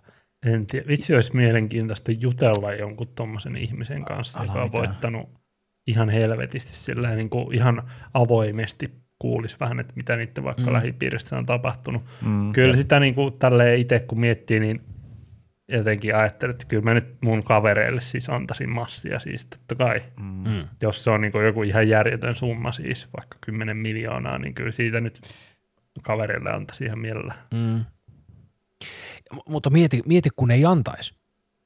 Niin. Periaatteessa mikään ei velvoita sua antaa sitä. Ei koska se on sinun rahaa. Ja, ja se on kuin, niin, että et periaatteessa, ja vaikka sä antaisit vaikka niin kuin miljoonan sun ystävälle, kaverille, mm. Mm. Mutta sit sulla on siellä vielä semmoiset 999 miljoonaa pankkitilillä, niin sit se, sit se rupeisi miettimään, vaikka se on saanut ihan jäätävän määrän rahaa, mitä se ei niinku ikinä tyyli, tyyliin normisti saisi, niin sit se vielä miettisi, että vitun cheapskate ei antanut mulle enempää. Tai Niin niin aattele. tämmöisiä niinku ihan hulluja, Niin vaan hulluja miljoona. ajatuksia. Niin vaan Mitä miljoona. että- helvettiä, mitä Jär, vaan niin, että eihän miljoona toi olisi mun niin kuin ystävä. Tai, tai sitten jos et sä antaisi ollenkaan, niin olisiko se välittömästi silleen, että haista sinä. Sä oot vaan tommonen luulet olevas ja yhtäkkiä kaikki niin kuin sillä palaa kaikkien kanssa. Ja, Niin, siis musta tuntuu, että niin tavallaan tossahan voi äkkiä käydä silleen, että no hei sano, että tolle kaverille, että miksi sä mulle anna, ja tiedätkö, Mm. siinä käy tälleen, että niin, tavallaan mä et- ymmärrän kyllä senkin puolen, että ei antaisi kenellekään yhtään mitään. Juuri, niin, ja, ja Mm, silleen, mm. että se täytyisi pitää ihan salassa, sillä että ei, ei niin kuin kukaan ei sitä itä. Mutta mit, sitten kun sulla on sitä rahaa, okei sä haluat ostaa vaikka auton, niin sieltä tulee melkein samana päivänä. Mistä sä muuten rahat tuo? Niin, Joo, niin. naapuri katsoi, jaa uusi auto. Vähän urheiluautoa ilmestyy siihen. Jaha, siellä on naapuri taas. Mitäs nyt on tehty silleen, että joko hankittu ihan jäätävä laina ja kaikki ajattelee, että juu, juu, se vaan ajelee la- laina-autolla. Ja sitten käykin ilmi, että siihen tulee kolmas Porsche vierekkäin. Oho. Hmm. Mä tykkäsin tuosta väristä. Mä otin vaan kolmannen. Se oli kivan näköinen.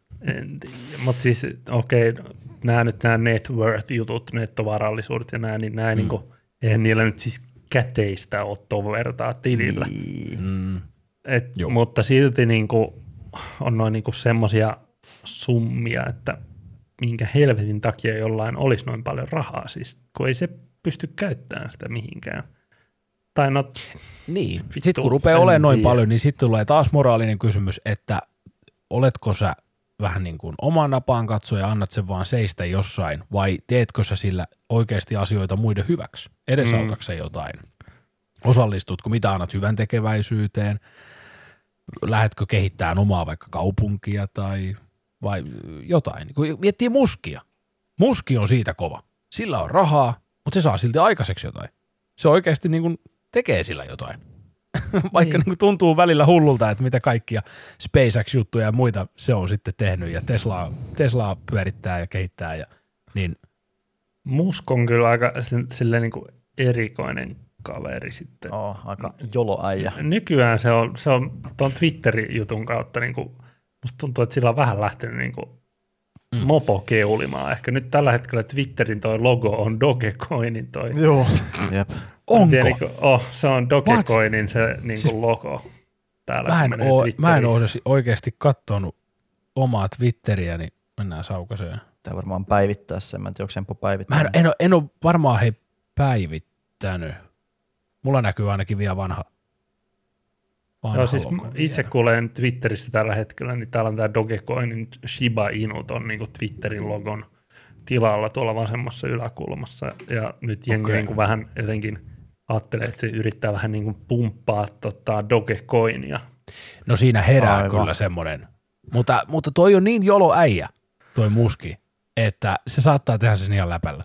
Niin siitä, mm.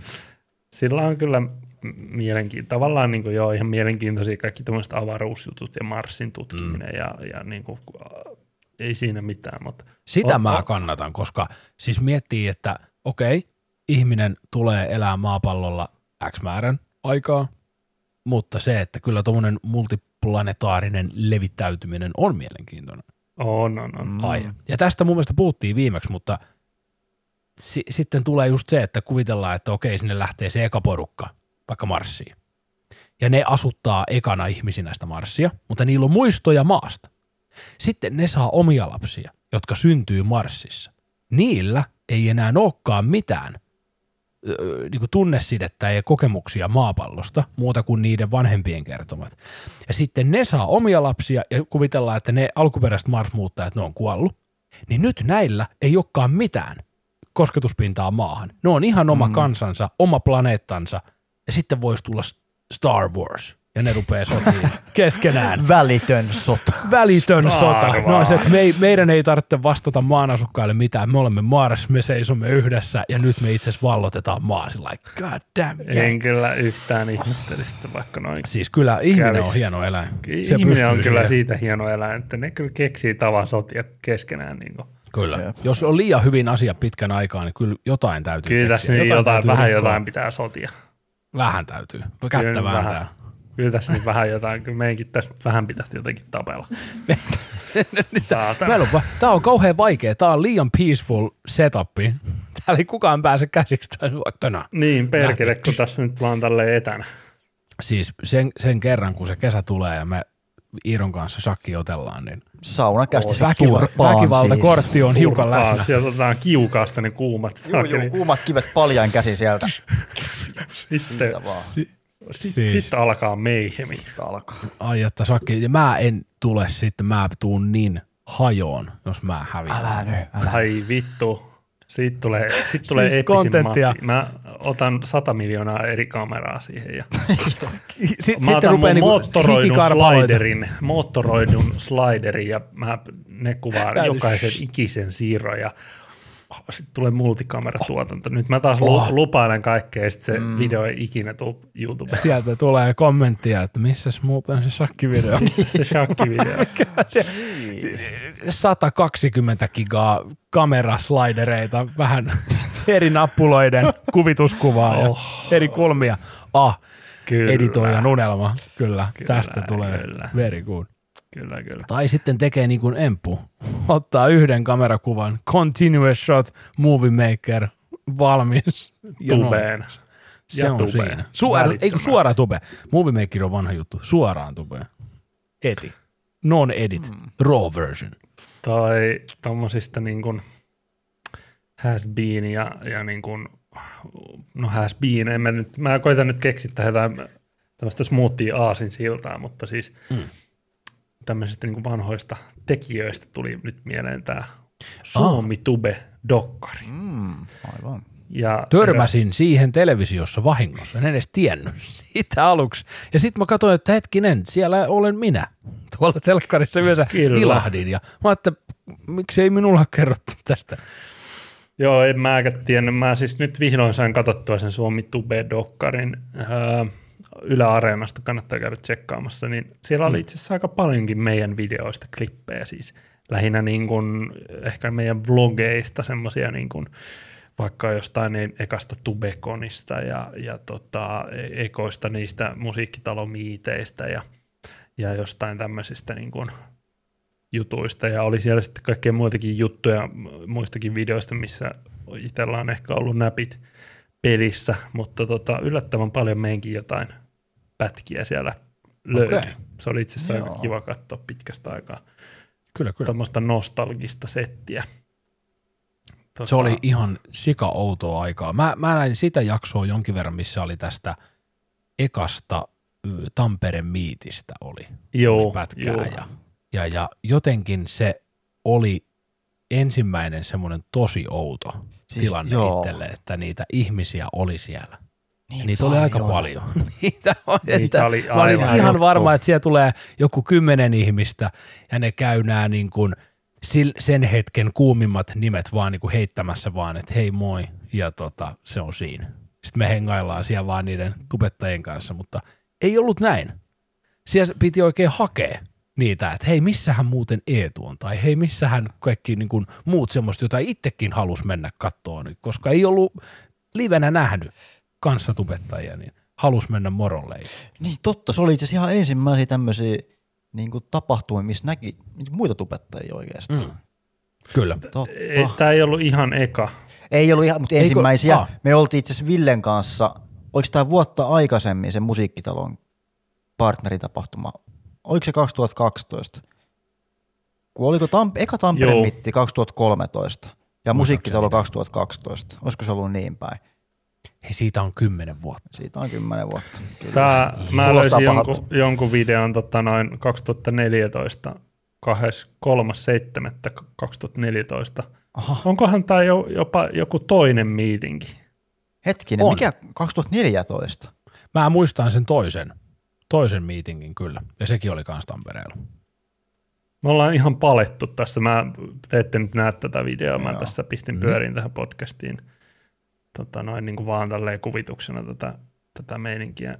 Tämä on joku ihan toinen miitti, tämä ei ollut niin hype. Ei Joo. ollut. Ei se oli selkeästi paljon vähän rauhallisempi. Oot, mä Kyllä se eka oli ihan-. Morjesta. ihan morjesta. Ihan morjesta. Mutta mä en muista, olinko mä siinä ekassa esiinnyin lissuna. Sä, Ei. vai oliko se se toka? Ei ollut ensimmäinen ainakaan mun mielestä. Ei. Niin Koska mäkin, niin. Vika Lissu on tullut 2014 vai oliko se peräti 15, niin kyllä se miitti on ollut sitä ennen, se ihan ensimmäinen miitti. Mm. Joo. Se taisi olla 2013. Niin se miitti. Niin, se to, eka Tampere Tomi. Joo, se oli 2013, joo. Joo. Oisko ollut? Kun mä muistan Lissu- sen, että siinä oli jotain linja-autoja. Joo, ja siinä sitten pihalla, Se, Ville, torilla. Ville oli tuonut perukit paikalle ja muut kaikki tälleen, että nyt, nyt laitat nämä päähän ja menet vaan lissuilemaan tonne. Ja mä muistan, että mua jännitti aivan törkeästi. Mä olin, että ei, se oli kahta vaille, että mä olisin perunut sen koko homman, mutta Ei, ei, kun nyt, varmaan mä, mene. nyt mutta... mä oon ihan sekaisin, koska tämä Lissun vlogipätkä, Lissun Vlogia 2 YouTube-miitti on 2013 julkaistu Eli se oli se. syksyllä. Se oli Oliko se. se mukaan ensimmäinen? Oli, ja, oli. ja empu suoraan sinne vaan lissukamat päälle. VTF. Miksi, miksi mä muista tämmöistä ollenkaan? Et oliko se mukaan ensimmäinen miitti ja siellä oli suoraan lissu sekoilu? Joo, joo, kun me kierrettiin aika kauan siinä, ihan vaan niin kuin nähtiin ihmisiä ja Hmm. tota, Kyllä se joo saattoi olla. Jotenkin nyt ajan rakenne muuttuu tässä kyllä.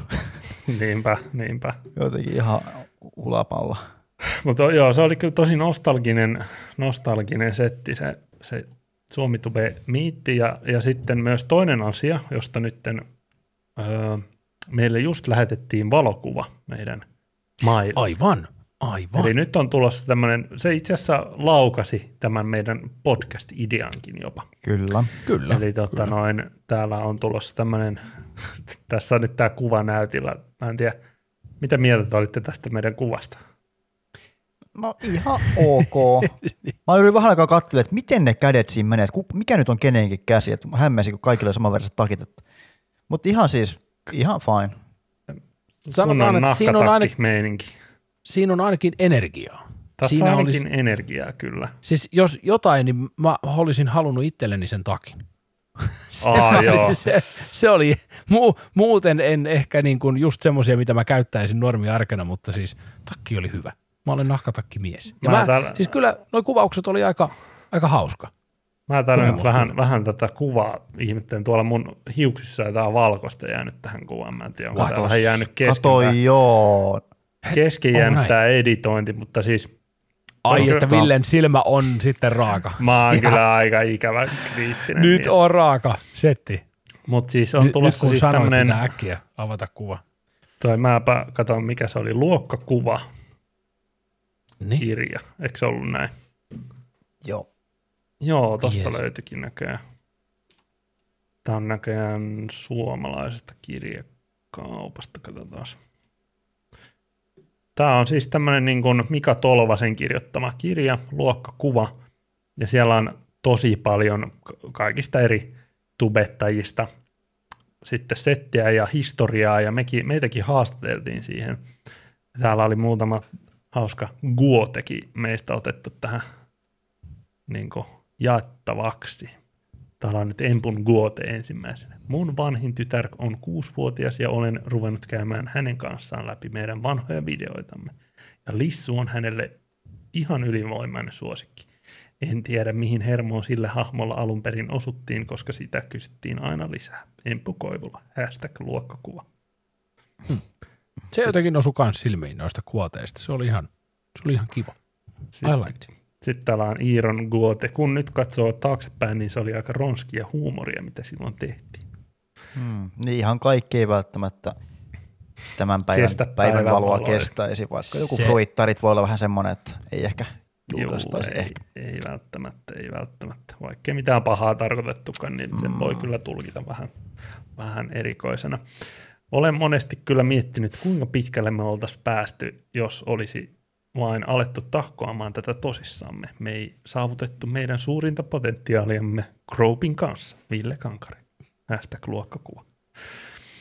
Toi oli semmoinen kyllä, mitä siinä kohtaa, kun tämä tää projekti oli niinku aluilla, Mm. ja oli tämä haastattelu, missä mekin meitä sitten haastateltiin ja käytiin yhdessä läpi näitä meidän niinku historiaa Krobinailta ja muuta, niin valitettavasti toi, mitä Ville sanoi ja siinä oli quotattu, niin se, on, se oli pitkään semmoinen, mikä ihan oikeasti harmitti pirusti. Mm, Mm, kyllä, mm. kyllä. Et, et kun miettii kaikki, mitä ympärillä tapahtui ja olosuhteiden pakosta, vaikka sitä pitkään, pitkään miettii, että kyllä tämä tästä, kyllä me löydetään joku tapa ja kyllä me pystytään ja löydetään aikaa, mutta kun, kun ei, sitä, ei se vaan, Tuli Ei vaan se elä, vaan elämä mene vastaan, Just Niin. näin. Realiteetit. Niin. et, et pakko oli vaan jossain kohtaa vaan hyväksyä se, että ehkä, ehkä niinku tämä vaihe oli loppu jossain mm. kohtaa. Ja, ja, si, ja sitten vielä se, että kun oltiin pitkän aikaa sillä, että me ei oltu juurikaan yhteydessä Niin oli. Mm, mm. oikein mitenkään, että sillä lailla, että totta kai ajoittain pistettiin viestiä, vähän pystyttiin näkemään jossain kohtaa, mutta ei se ollut, ei se ollut enää, ei me tehty varsinaisesti kuvattu mitään, eikä, Ei. eikä semmoista, että se oli ihan vaan hengailua, mutta onneksi, onneksi sitten mä jotenkin jäi mieleen silloin, kun tämä, tämä haastattelu oli loppu, Mm. niin sitten me jäätiin siihen vielä jutulle. Samalla Jep. lailla, kun me oltiin Mm, mm. näin, Joo. näin tota, videopuheleen ja siitä jostain yhtäkkiä semmoinen lamppu syttyy, että jumaleissani, meillähän on mahdollisuus tehdä tätä ihan niin paljon kuin me halutaan käytännössä. Se oli 17.9. viime vuonna, kun oli se haaste. Eipä se oli toi va- valokuvaus otettiin Aika silloin. niin olikin joo. Se oli aikaisemmin. Se oli joskus, mitenköhän, Mä sanoisin, että kesä, aika lailla kesäaikaa, siis silloin oli lämmin. Mä Ei, makasin meidän liikkeen televisiolaatikoiden kesää? En tiedä. No mut No kuitenkin, kuitenkin joo. Joskus viime vuonna se nyt oli sitten vissiin, kun, Joo. kun tota, Eli voidaanko me nyt tästä päätellä, että osittain voidaan kiittää nyt tätä haastattelijaa, että, tai tätä kirjaa, että podcast edelleen meillä täällä pyörii. Kyllä, ky- kyllä mä Kyllä. voisin Olisiko sanoa. näin. ilman tämän Mikan kutsua podcasti olemassa tällä hetkellä? Kyllä. ei välttämättä. Ei välttämättä. Että tuota, siis tämä, kiitoksia tämä nyt vaan kirja, sitten jos menette, paljon. sinne, jos menette Grouppi-osioon tähän kirjaan, niin se on aikaa ennen Groupin Kyllä, paluuta. koska siinä kirjassa nimittäin ei ole mitään mainintaa, että me tullaan tekemään tämmöistä podcastia. Mm. Mm, se Joo, niin kuin jäi ei. sitä pois, joka toisaalta vähän sääli, mutta Joo, se oli 28. 23. viime vuonna, kun meillä oli tämä haastattelu tuohon kirjaan, ja nyt se on tullut ulos, luokkakuva. Se varmaan tulee itse asiassa äänikirjapalveluihinkin ehkä, joten itse varmaan mm. kuuntelen sen läpi. Oo, joo, kyllä. Kyllä. Niin, niin siellä on tosi paljon niin kuin historiaa monesta eri tubettajasta ja, ja siis että mekin päästiin messiin, vaikka oltiin vähän niin kuin lopetettu jo aikoja sitten hommat. Mm. Ja tota, siitä se idea sitten lähti, vanha kunnon sanonta. Siitä Jep. se idea sitten lähti ja tässä me nyt ollaan. Täällä vaan. Ki- kiitos. höpistää. Kiitos Mikalle. Se, joo, se oli just tuon haastattelun jälkeen, Joo. kun me jäätiin vähän niin kuin keskenään höpiseen, että hei. Mulla oli vähän niin kuin pyörinyt sellainen idea, että, Joo. että jos jo, joku tämmöinen yhteinen podcast edes tehtäisiin. Mm. Ja niin kuin, hieno matka. Kyllä. On ollut hieno matka. 30, yli 30 kästiä jo tehty ja sitten on chatteja mm. tehty livenä, niin on ollut hieno matka. Hei, me ollaan muuten itse asiassa nyt vuosi näitä melkein pian tehty. Milloin meillä on tullut eka jakso muuten ulos? Katsotaan. Hetkinen. Ei, sä- totta Ei muuten. vi- Totta, On joo, muuten joo. ihan näillä näppäimillä Ko- nyt hetkinen siis koska muuten. tuli muuten eka? Ei Seis. saatana. Äkkiä auki. aika. Sitten Miten pitää me hei, ollaan- oikeasti 25.4. Tämän Ei kuun lopulla, niin se on Oho. sitten vuosi Juhla, muuten juhlajakso on tulossa. Juhlajakso muuten on tulossa. Mitä me keksitään? Mitä me Hei. keksitään? Apua. Nyt, nyt mä vähän niin kuin haluaisin, että nyt järjestetään nyt niin kuin taas yhteis. Onko se nyt se live-striimi? No ei, vähän aikataulut Vai, saattaa- vai semmoinen niin kuin yhteinen näkeminen vai sitäkö Niin. mielestäni? Niin, no sekin. Joo. mietti, Nimenomaan, että mä, mä haluaisin, että juhlajakso ollaan taas läsnä keskenään. Ai että, Joo. kakkukahvit ja kaikki. Oi juu, ja champagnea mä haluan. Champagnea ja kaikki. Kyllä se vaan Kyllä. sopii kuule. Joo, Eiköhän joo. me joten, jotenkin saada järjestyä. Ja mahdollisimman Ois paljon kaikkia niin kuin, ehkä niin kuin vieraita ja muita, jotka on niin kuin ollut mukana, mukana Oi, vähän niin oi, tässä oi. keskenään. Niin, joo, mukaan heti. Wow. wow. Vuosi, hetkinen. Oi, nopeasti aika kyllä mennyt. Nyt, nyt täytyy pistää hallitukselle, vaikkei sitä ole tehtykään, niin nyt ve- vetoomus, että pistäkääs valtiorahaa tämmöiseen projektiin. Tämä on, tämä on tärkeä. Mieti, kun saisi jotain apurahoja. En ole koskaan Älä. sellaisia saanut mistään projektista. Mieti, kun saisi. Siis apuraha. Kun, siis mä yhtään väheksymättä taiteilijoita, niin hän saa niin kuin näihin älyväläyksiinsä jonkinmoisia apurahoja. Ja mites meidän älyväläykset? Luuletteko, että tämä on helppoa meille? Jumalauta, ollaan tässä nyt tehty jo Suomen kulttuurirahastolle nyt kuule apurahat. N- nyt, nyt Villen käsi käy siellä jo koneella niin kovaa. Siellä on jo toisella näytöllä meidän auki. Niin on, niin on. Apuraha. Peilaa Villen pupilleesta, siellä näkyy. No niin. Ville vaan miettii montako nollaa pistäisi tähän summaan, Joo. mitä pyydetään. Niin paljon tarvitaan, paljon tarvitaan. No kun me, eikö me pyöri, aloitetaan silleen niin kuin kevyellä, kun me puhuttiin miljardeista äsken, niin pari nollaa sitten vielä pois. Ihan pari pois. se, otetaan starttirahat siitä. Mut kyllä siis jotkut kirjailijatkin saa aika hyviä summia. Sehän on niinku mm. periaatteessa sitä sitten, että kun sä saat sen apurahan, niin sitten sä saakeli kirjoitat vaan, tiedätkö? Mm. Sitten se on vaan sitä kirjoittamista. Niin, niin. En Aika tiedä, ei ole, varmaan, ei ole varmaan kyllä niinku kulttuurirahastolta yksikään YouTubettaja saanut kyllä yhtään mitään. Olisi kyllä siisti Vielä. kuulla, Kukaan vähän ei siinä ole uskaltanut ei kysyä. välttämättä vielä. Niin, Kukaan ei ole kysynyt. uskaltanut kysyä. Ei saa pelätä. Meidän pitää pistää jalka oven väliin ja sanoa, että hei, täällä gruppikästä. Raheja. Raheja. Iso rahe. Raheja, kiitos. Ois, niin, se, se kyllä varmaan, siis näitähän on aika vaikea kai hakea. On tosi vaikea. Jotain siis, Netistä siis niin kuin ihan oikeasti, oikeasti on vaikea niin kuin saada Ai. Sitä. Ja sitten Niin. niin. se on niin kuin todella monimutkaista varmasti se ra, niin kuin hakemuksen tekeminen ja se mm. käy ihan niin kuin työstä se niin kuin itse tuommoisten niin kuin hakemusten tekeminen siis. Mm. Hei, hei, kato, mitkä on meidän osaamista? Kuka on kuvaamataidossa paras? Tekee jonkun maalauksen, joku kirjoittaa meistä kirjan, joku tekee jonkun pienen lyhytelokuvan, jostain me julkaistaan näin, että me ollaan kaikki niin oman alan osaajia ja taiteilijoita. Kaikki groupin alla. Oi, oi, oi, oi. Toi niin kuin taiteen, hetkinen, täällä on jotain suuruuksia. Joo, täällä on Joo. 32 tonnia, 28 tonnia, 33 500, Mistä sä 7 noin 000, isoja 10 000. rahoja? What? En mä tiedä, mä oon jossain, tota, mikäköhän tää nyt on? Ootas. Iiro löysi paremman Mä, sivun. mä, menin, mä menin Googlen kautta, päädyin johonkin, en tiedä mihin. Oi vittu. Onko, meneekö kulttuurista kroppikästä? Onko, onko ihan tarpe, onko kulttuuria? Häh? Siis nyt, nyt tämä on vähän niin kuin meidän kuuntelijoiden määriteltävissä. niin, tää mihin niinku- määrittelet meidät? niin, niin, niin. Onko tämä nyt semmoinen ihan, että kun muistellaan vuosia takaperin, että kerrot omille lapsille, että mitä on vaikuttanut Suomen kulttuurissa, niin Grouppikäst oli semmoinen, mikä minun elämääni Ensimmäisenä mieleen. Miten Kyllä, pääsee, kesämielen. miten pääsee niin kuin taiteilijaksi? Mä, haluan, mä haluaisin olla taiteilija. Täällä on esimerkiksi apuraha niin kuin Wikipediassa. Valtion taiteilijan apurahan suuruus ensimmäinen 8.2020 alkaen 1960 euroa kuukaudessa. Kelpais. Kelpais. Kelpais. Siis Ok. vähän kulttuuri oikein vaikuttaja. Oi että. Ai vittu, mä haluan taiteilija. Antakaa mulle isi, iso kivipatsas ja joku vasara käteen, minä teen kulttuuria. Kyllä mä, joo joo, kyllä mä voin vähän kulttuuria tehdä. Mm. Mä, Ei, mä mutta- oon niin, Siis, Juu. Siis sinänsä Emppo katsoisi niinku- pari tutoriaalit pam, siinä How to be valmis artist. patsas. how, how to, to be, stone sculpt. how to scalp Heti. stone. Stone. Koska se on niin helppoa. Se on niin helppo, On. että voit katsoa Pakko, yhden pakkohan se, jos joku muukin Juu, juu. ihminen osaa, niin ei se nyt voi olla vaikeaa.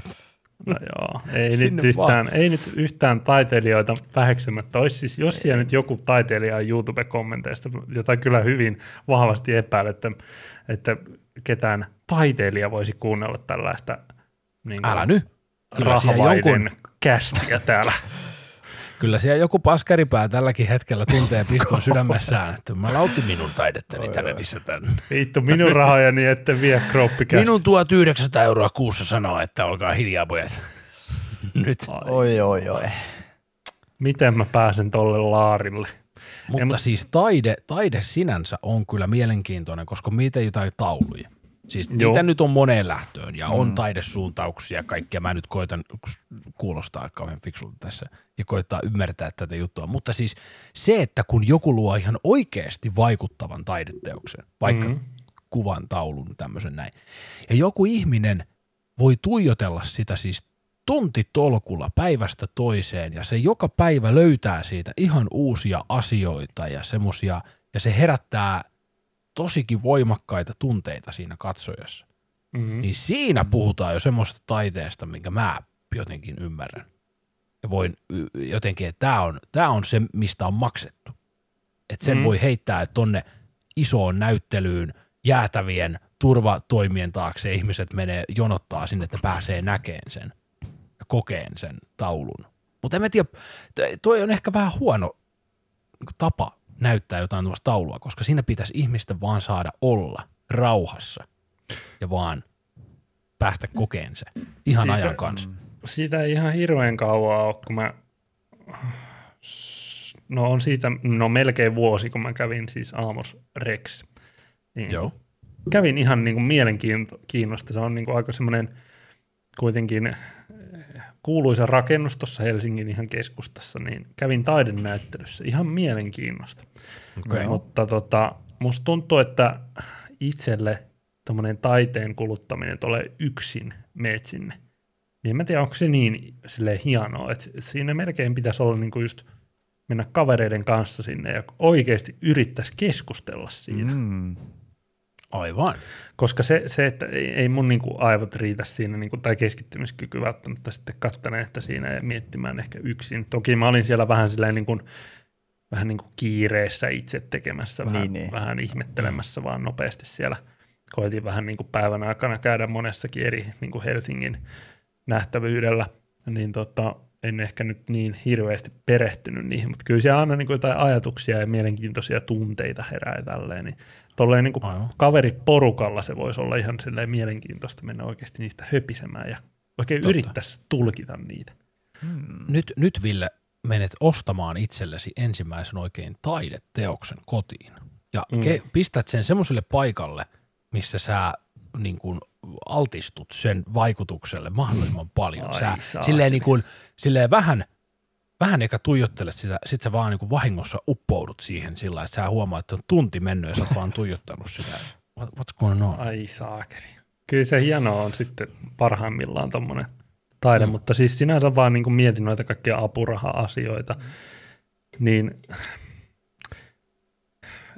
niin, eikö tämä nyt sitten, koska, koska tämä niin kuin tavallaan kellahtaa siihen suuntaan, että meitä tubettajia aletaan kutsua kulttuuriksi. On tässä ja nyt jo... jos, niin, on tämä Niin. nyt sillä jo ollut jo pidemmän aikaa, mutta ehkä tuolla saralla vielä vähän siinä murroksessa kuitenkin, että ei ole vielä niin mainstreamia sitten tai niin kuin sillä tuttu ehkä, en mä tiedä. Jotenkin tuntuu, että ei vielä kuitenkaan ehkä vielä siellä. Niin. Mm.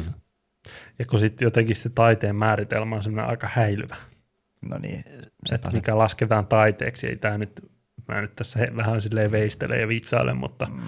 mutta sinänsä niin kuin tommonen joku apurahatyyppinen niin kuin tuki tällaisessa niin kuin hommassa, mitä mäkin teen niin kuin ihan mm. työkseni, niin sinänsä niin kuin kuulostaisi aika, aika silleen luksukselta, että hei, No vitsi, saan, saan tukea tähän hommaan, koska niin kuin, tämä on niin kuin, siis sehän on ihan valtava riski alkaa tubettajaksi silleen niin kuin mm. täyspäiväisesti.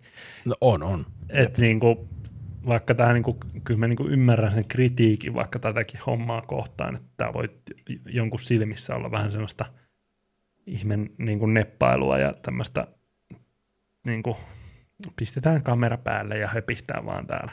Mm. Mutta tota, se, että niin kuin tätä oikeasti työkseen tekee, niin on se aika semmoinen epävarma On, on. tulonlähde. Jep.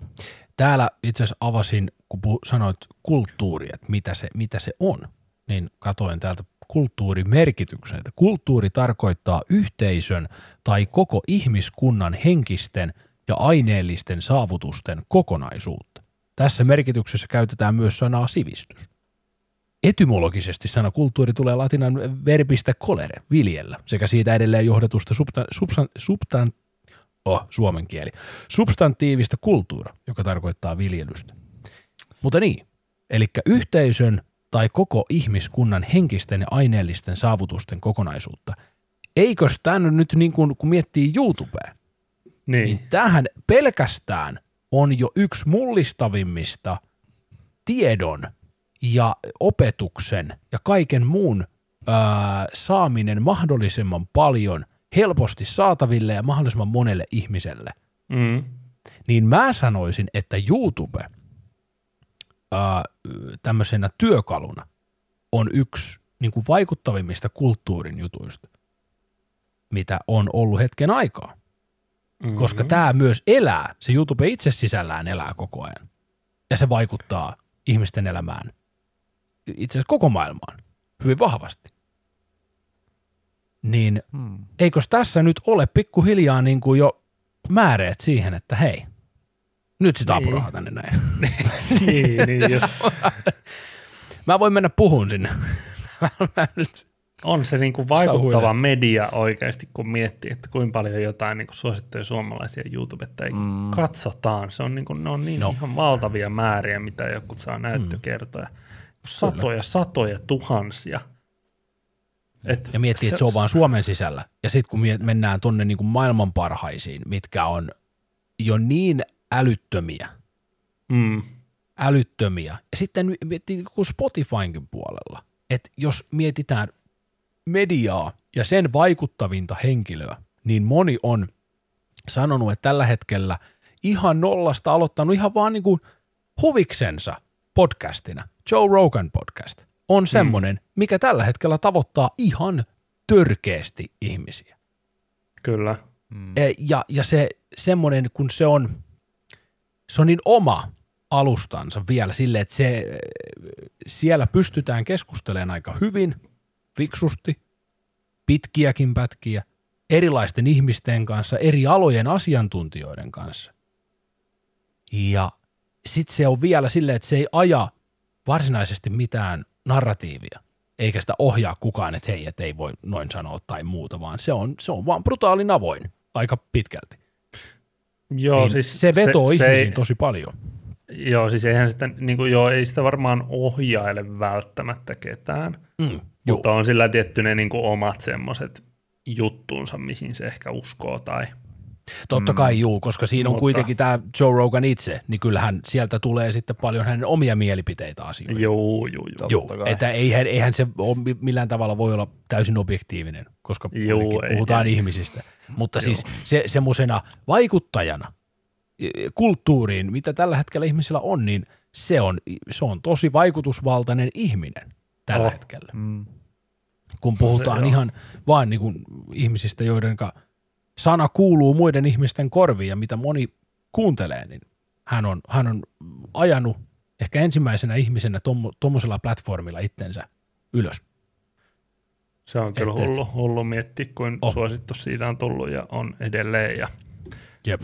koko aika siellä, se, mä en ole nyt hetken kyllä kuunnellut Joe Rogania, että Kauan se on edes tehnyt tai pitänyt tota podia sitten, kun mä en oikein kauhean tota, perillä, perillä asioista. Kyllä Onko se se Emppu on niinku pit, pitkäänkin Siis on, on, on, siitä, on, on se jo niinku vuosia, Niin mä ajattelin, että varmaan Oh. vuosia. vuosia Joo. sitä tehnyt. Et sehän alkoi aika paljon siis semmoiselta, että se, niitä sen stand-up-koomikkokavereita ja, ja, ja sitten tämmöisiä julkimoita ja muusikkoja ja urheilijoita ja tämmöisiä kävi siinä. Ja sitten yhtäkkiä se vaan sai niin paljon tulta alle, että siellä rupesi käymään oikeastaan niin kuin ihan kaikki. Se, että siellä, siellä on niin laidasta laita, että kun mäkin kattelen aina sitä listaa, että ketä kaikkia, että et jos mä tunnistan jonkun henkilön, vaikka hmm. joku stand-up-koomikko tai just urheilija tai joku muu tämmöinen näin.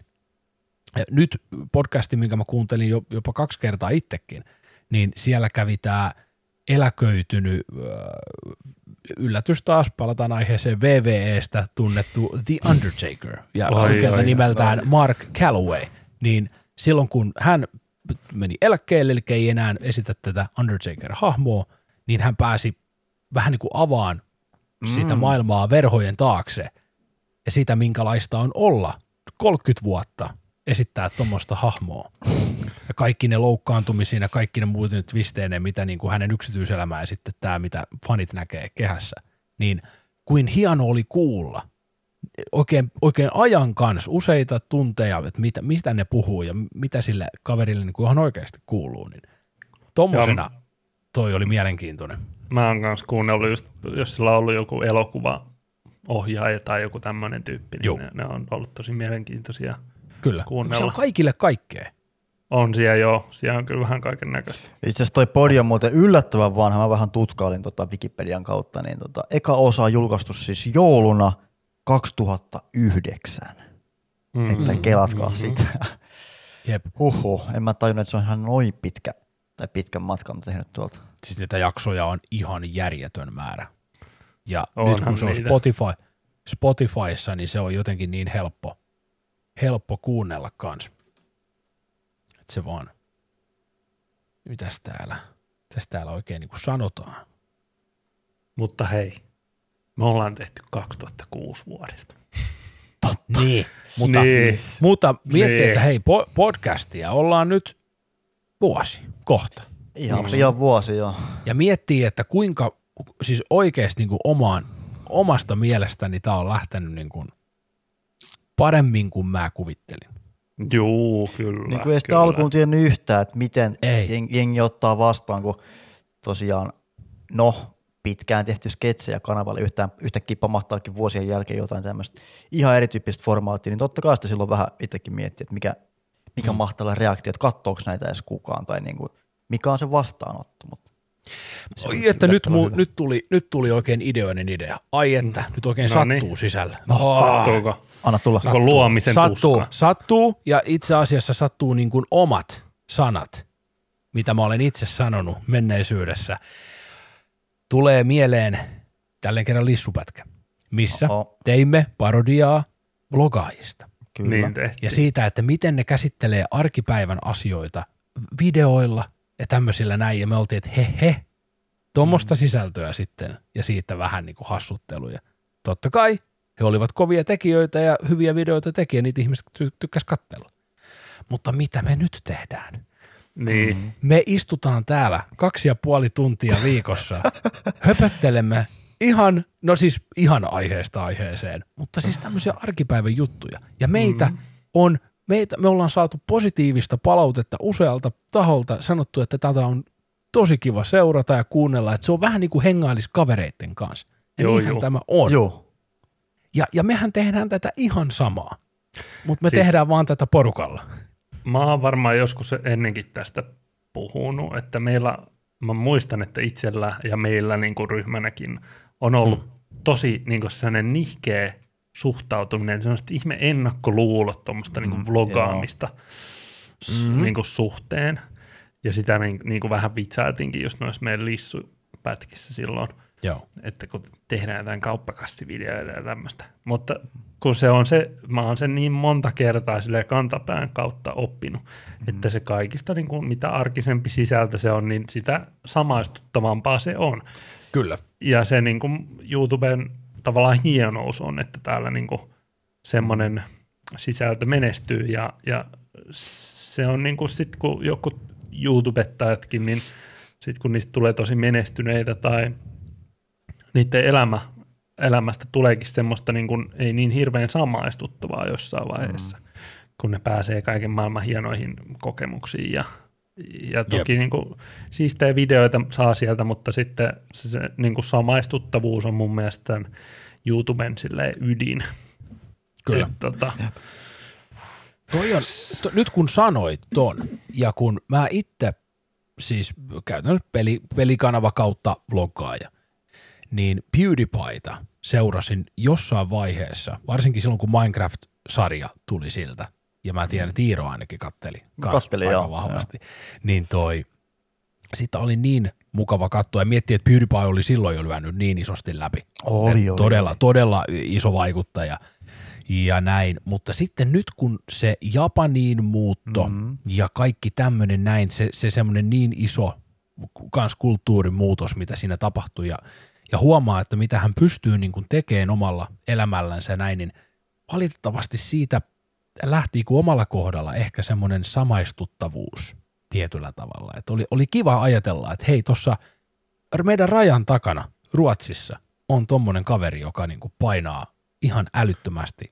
hommia YouTuben puolella ja menestyy ja tekee, mutta nyt, nyt siitä on tullut niin jotenkin outo käsite, että en mä, en mä, kun mä menen katsomaan PewDiePie-videoa, niin mä että okei, mua kiinnostaa Japanin jutut, mua kiinnostaa mitä täällä on sanottavaa, mutta en mä niin uskonnollisesti seuraa enää sitä.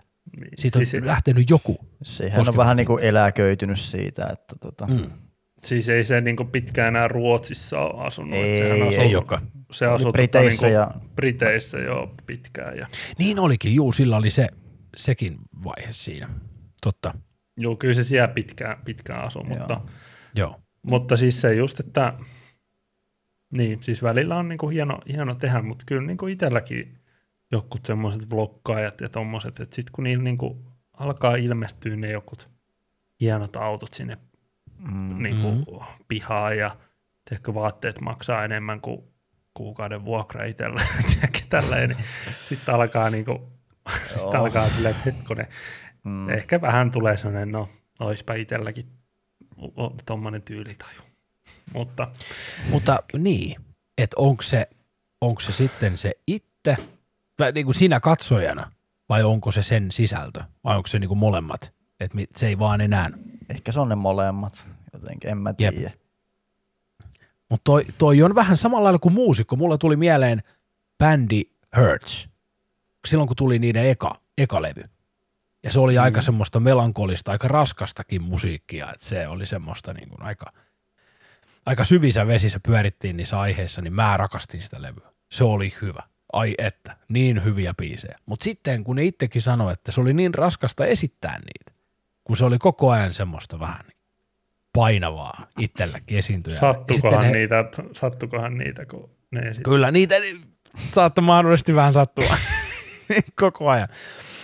Niin toi, toi, toi. Sitten ne muutti sitä genreensä niin paljon semmoiseen ns-positiivisempaan ja menevämpään suuntaan. Ja mä en tykännyt siitä yhtään sen jälkeen. Ei, ei tämä, ei kiitos. Niin jotenkin kamalaa miettiä, että sä olet sisällöntuottaja ja sulla on niitä uskollisia faneja. Ja sitten sulla itsellä tulee semmoinen olo, että okei, mä en, mä en oikeasti halua tehdä niinku tämän tyyppisiä videoita enää. En vaan, ei pysty, ei vaan lähe. Niin sitten sä teet sen hyppäyksen sä tuntemattomaan, sä rupeat tekemään ehkä mahdollisesti jotain muuta, ehkä lopetat, jotain, jotain selkeästi erilaista. Niin onhan se pelottava tilanne, koska kyllä osa katsojista on silleen, että jaha, se oli siinä. Mm. Joo, Et ei- se ei on enää. valitettavasti just näin. Mä, itselläkin on varmasti ollut niin kuin montakin kertaa toi tilanne, että sitä on miettinyt, että mitä sitä tekisi ja aina sen kanssa mm. silleen, silleen painii ja kamppailee ja tällä, että sitä on tullut vanhaksi. Ei tässä nyt enää jaksa yrittää. Niin Sinä. Ei. Mä oon Ei. van, vanhaksi. Siis mä, mun päivä alkoi tänään sillä, että mä menin saunaan.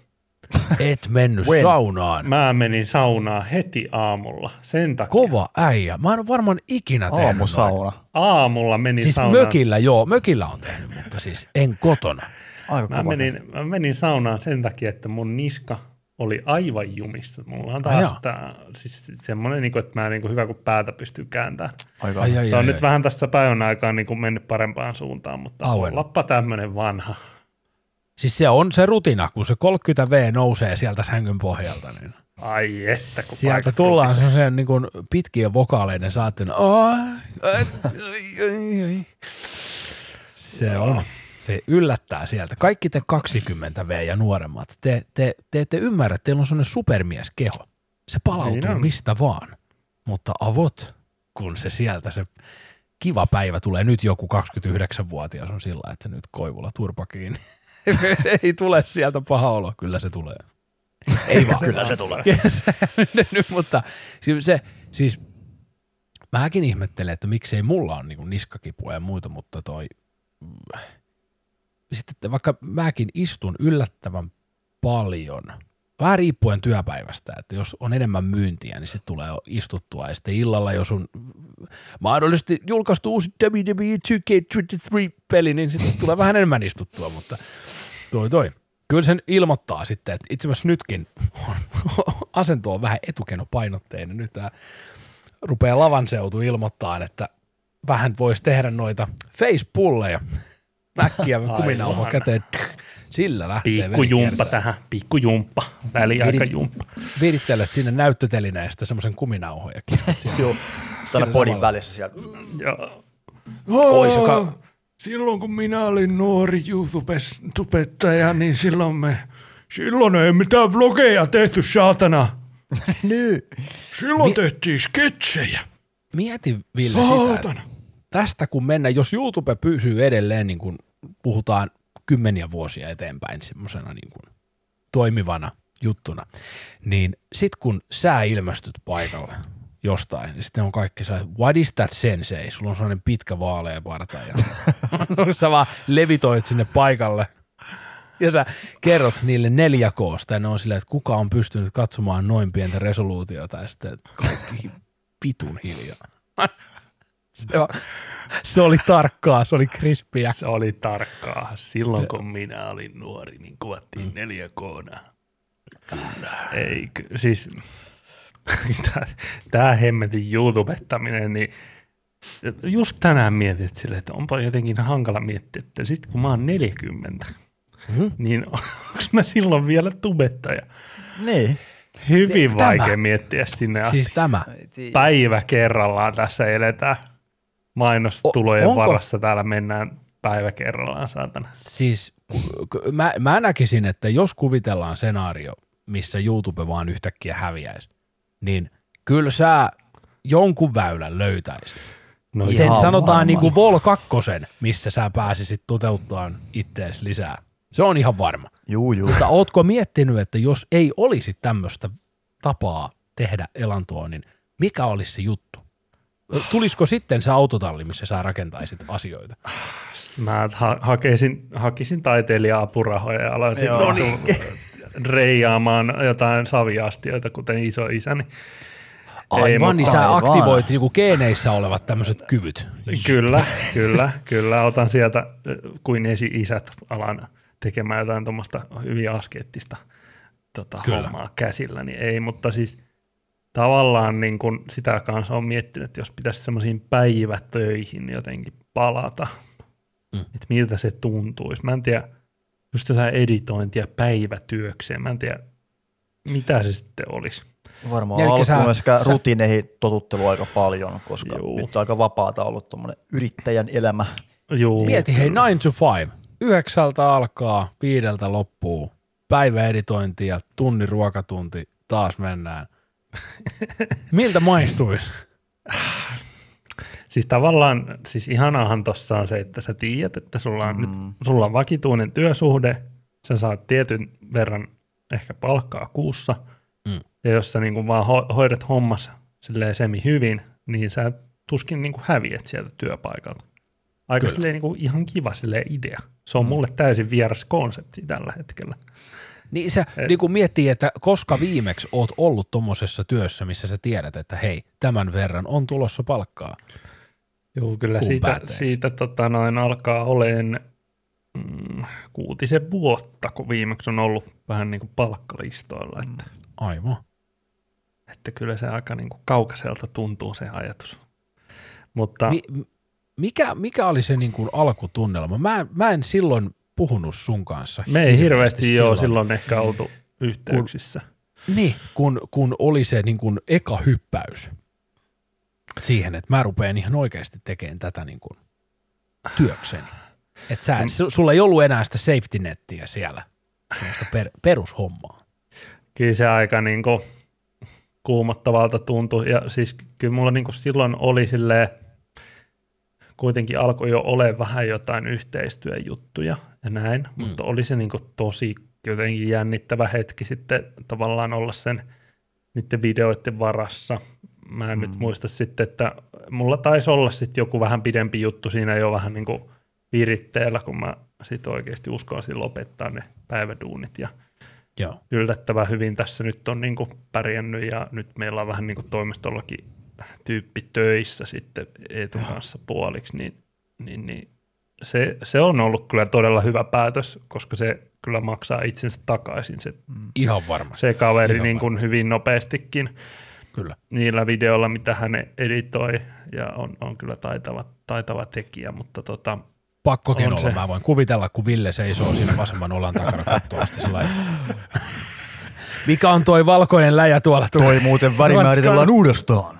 en mä nyt Sulkeiset. Ei, ei, ei. Mutta Värimääritys mun on pak- pakko sanoa, että että mä muistan sen, olisiko ollut Oh. 2015, kun milloin sä oot alkanut Ville tekemään niinku ihan videoita pelkästään, koska mä muistan semmoisen ajanjakson, se on ollut vielä Kruplok-kanava, ollut vielä silloin Vinkaren niminen, niin sä oot tykittänyt oh. ihan helvetisti videoita sinne. Melkein päivittäin jotain Niitä vlogia. Mä tuli. muistan semmoisen ja ajanjakson. Sieniä sataa. Joo. Niitä mulla tuli oli- ihan helvetisti.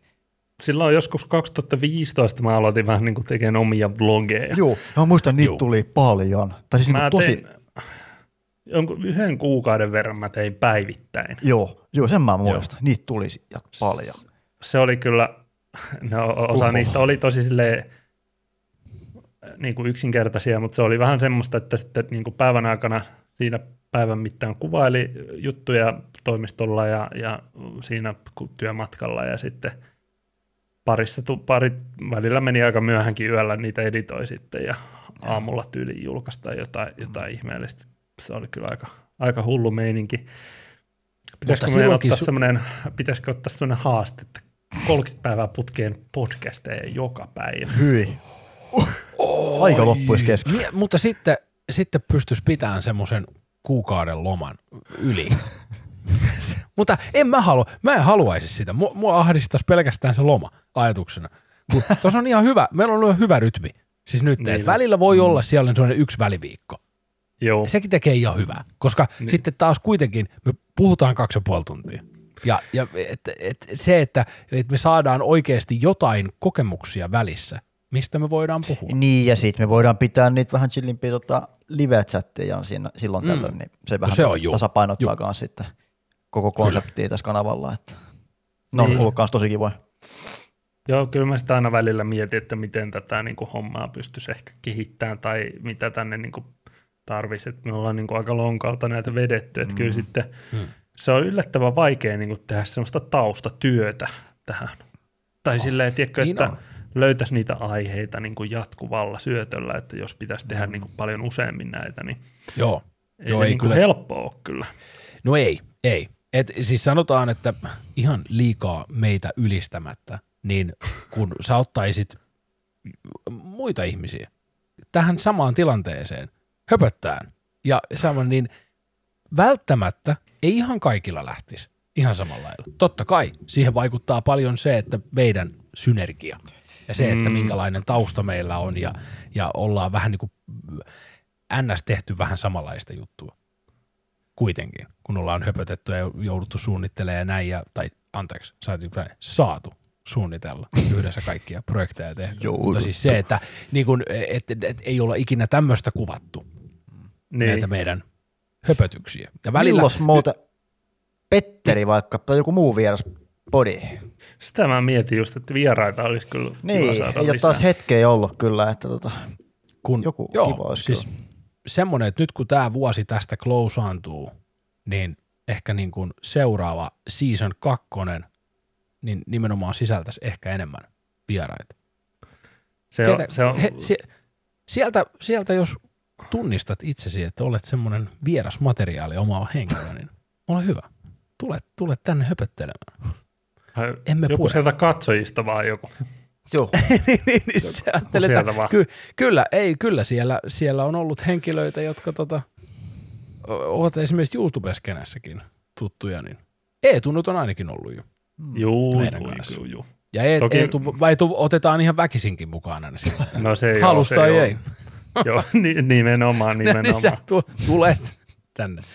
Aina jos vähän liippaa jostain vapaa-painin läheltä, niin mä vaadin mun Se brotherin on, se, se, se, paikalle. on va, se on vaan aika paljon pyydetty, että tämmöisten ihme äijien kanssa, että sille Mm. kello yhdeksältä illalla, voisiko hei tulla meidän kanssa juttelemaan kah- kaksi tuntia? Voi. Niitä näitä. Tämähän on the best time, koska kuka tekee mitään produktiivista kello yhdeksän jälkeen? No ei, Ei ei me kukaan. ainakaan saatana.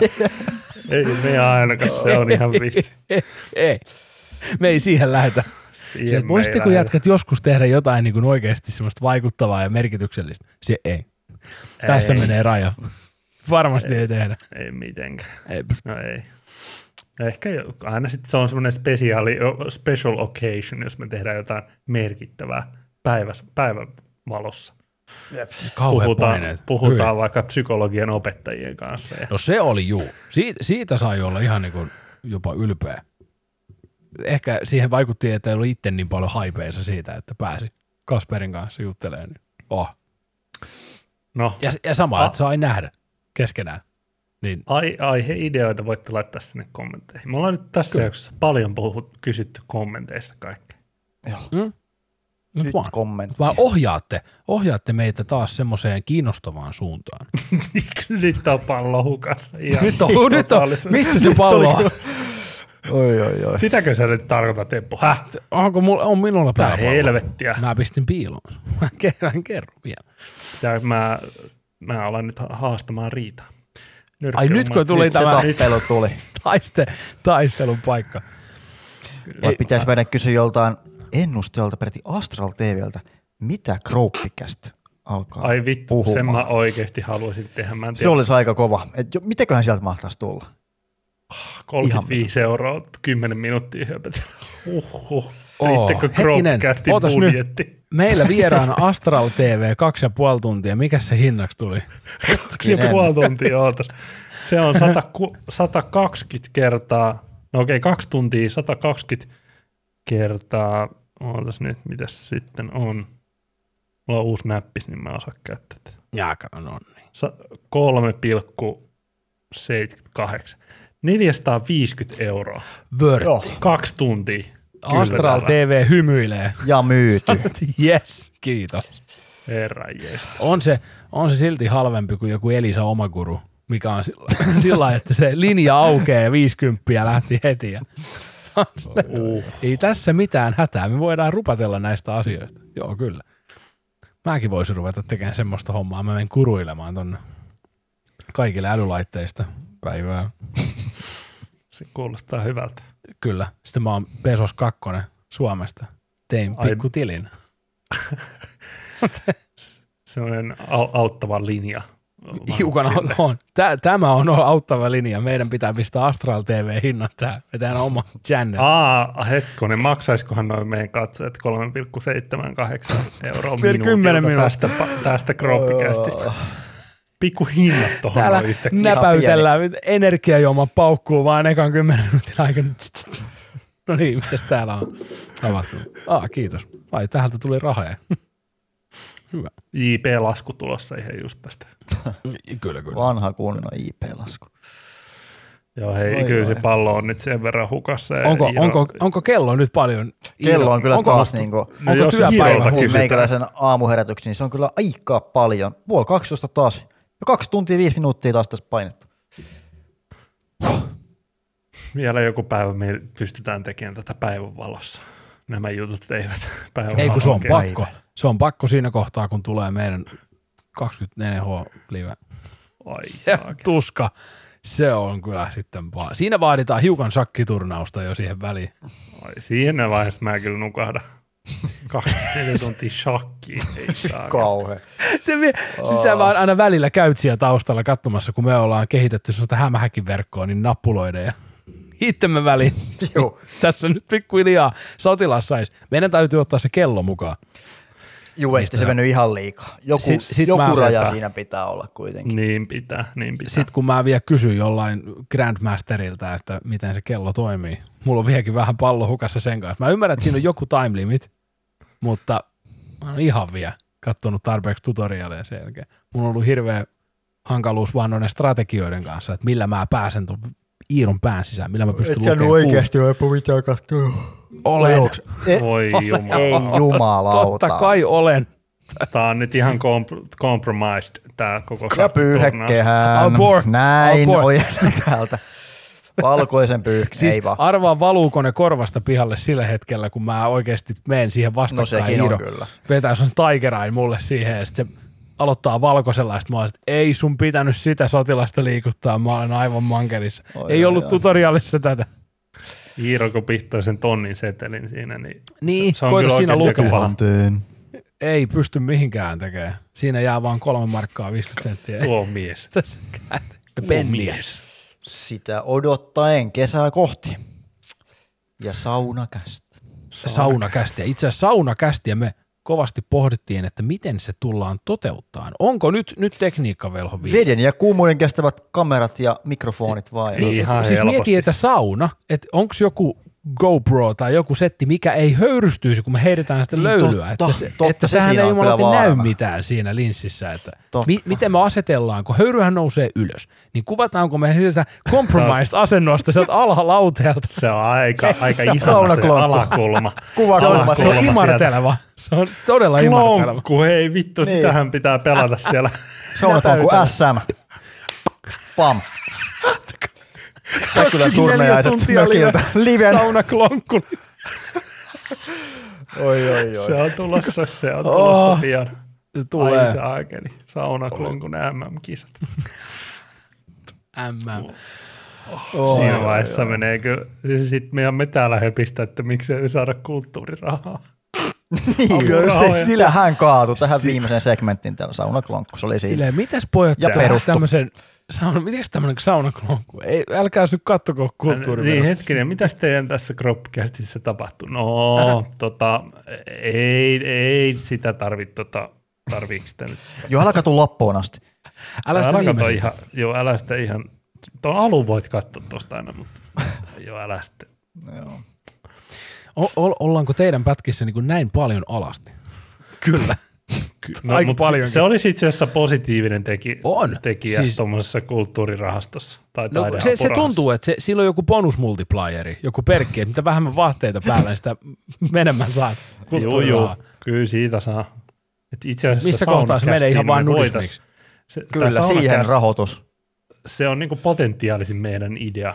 Ja mieti, kuinka kulttuurillinen, kato sauna, Suomi, sehän on niin kuin Hei. the shit. Totta. Et me olemme niin kuin nyt Suomen kulttuurin alkulähteillä. Sitten vielä vihta käteen, klon- ja syödään, sis- ja sy- vihta käteen ja syödään sisupastilleen. Kyllä. Myyty. Samalla, samalla kuin joku klonkuttaa menee sieltä.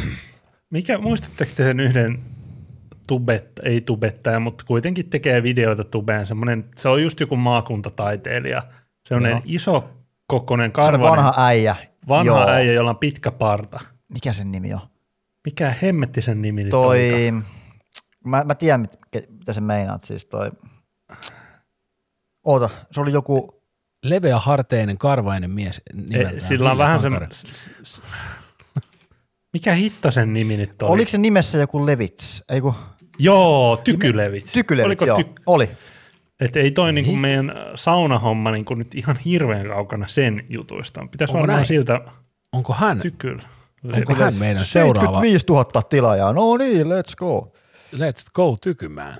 Joo. En mä tiedä, onko tämä niinku idea sitten kuitenkaan tästä niin hirveän kaukana. Ja niin tämä mestari, Joo.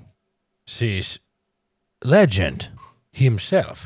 Joo. No on, on tämä nyt. Ja Tämähän jos menee joku, katsomaan noita suositumpia pätkiä, niin noin kolme ylintään aika jännä näköiset thumbnailit tossa, että No täällä on heti kaksi vuotta sitten tullut nimeltään taide.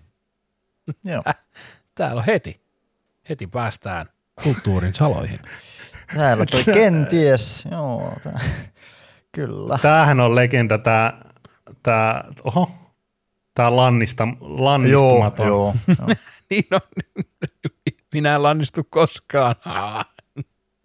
Kirkkoova päässä. Ai, Oh. Me ei lannistuta ensi kesänä siellä saunassa. Ei. Ja sit mä haluan mennä ottaa VVE RKO-liikkeen, jos mä tapaan sen joutsen siellä uudestaan. Mennään, me pistetään ka- kamerasetuppi laiturille, siinä tunnelmoidaan, kato hetken aikaa, nautiskellaan illasta ja kästäillään. Ja sitten yhtäkkiä random swan head appears. Sitten lähtee. kolpeta. Right Hit. now. kyllä. Right now. Right now. No niin, nyt meidän pitää nyt tää jo 20 minuuttia sitten lopettaa tämä. Taas lähti lauka. Taas lähti. Joskus voitaisiin kyllä oikeasti podcastaa joku viisi tuntia. Tekään sit oikein tulisi. Sitten eikö tuolla pitää viisi tuntia. Viisi, Viisi hyvä. Mutta sanotaan, siihen, siihen ehkä vaatii jo pienen semmoisen niin käsikirjoituksen kautta rangan. Aihealueen. Miten niin? Äh, Miten niin? Miten? ei. Ei, ei. No joo. Siis mieti, mieti, kun tulisi sellainen kästikohtaus, kun kaikki on vaan aivan hiljaa. Se on se noin 45 minuuttia. Hengittelee tämän. Lasittunut katse. Joku raapii mahaa vähän liian äänekkäästi. OSMR. A- ASMR. Hikoileva mies ASMR. Nyt. Oh, karvan rahinoita ja pieniä pärähtelyjä aina silloin tällöin. Jospa ei. Jospa ei. Jospa ei. Jospa Joo, ei. Nyt hi- lähitä- ihan oikeasti empu. Nyt stop. Nyt stop. Älä, älä nyt seis. enää aloita Sieltä yhtäkään tulee uutta taas uusi. Mulla, mulla tuli ASMRstä mieleen vaan. Juttuja. 45 minuuttia Ei. taas jotain sivuraidetta tähän. ASMRstä tuli mieleen. Vähän nyt- tuli mieleen. Päästäkää tuo Iiro tuolta nyt nukkumaan. Silmät Nyt, lupsuu. nyt, nyt, Aikainen nyt kun herätys. itse asiassa katsoin Niiroa, niin please. silmäkulma. Silmäpussit on niinku kaksi ja puoli litraa. Päästä meidät pahasta Iiro ja meidät loppuspiikin nyt. Kyllä. Nyt. Pian ollaan vuosi tätä tehty ja ei voi kuin kiittää kaikkia katsojia, että näinkin pitkän olette pysynyt tota meidän matkasta. Ehkä väärään aikaan tulee nyt tämä puhe, ehkä tämä sopisi paremmin sinne tota vuosi, vuosijakso sitten tota loppuun, mutta lopetetaan tämä jakso tämmöiseen kiitokseen. Näinkin pitkä. Kiitos. Kiitos. Kiitos. Iso Ja nyt kiitos kaikille hyvää yötä, huomenta tai päivää. Tämä oli tässä. Moro.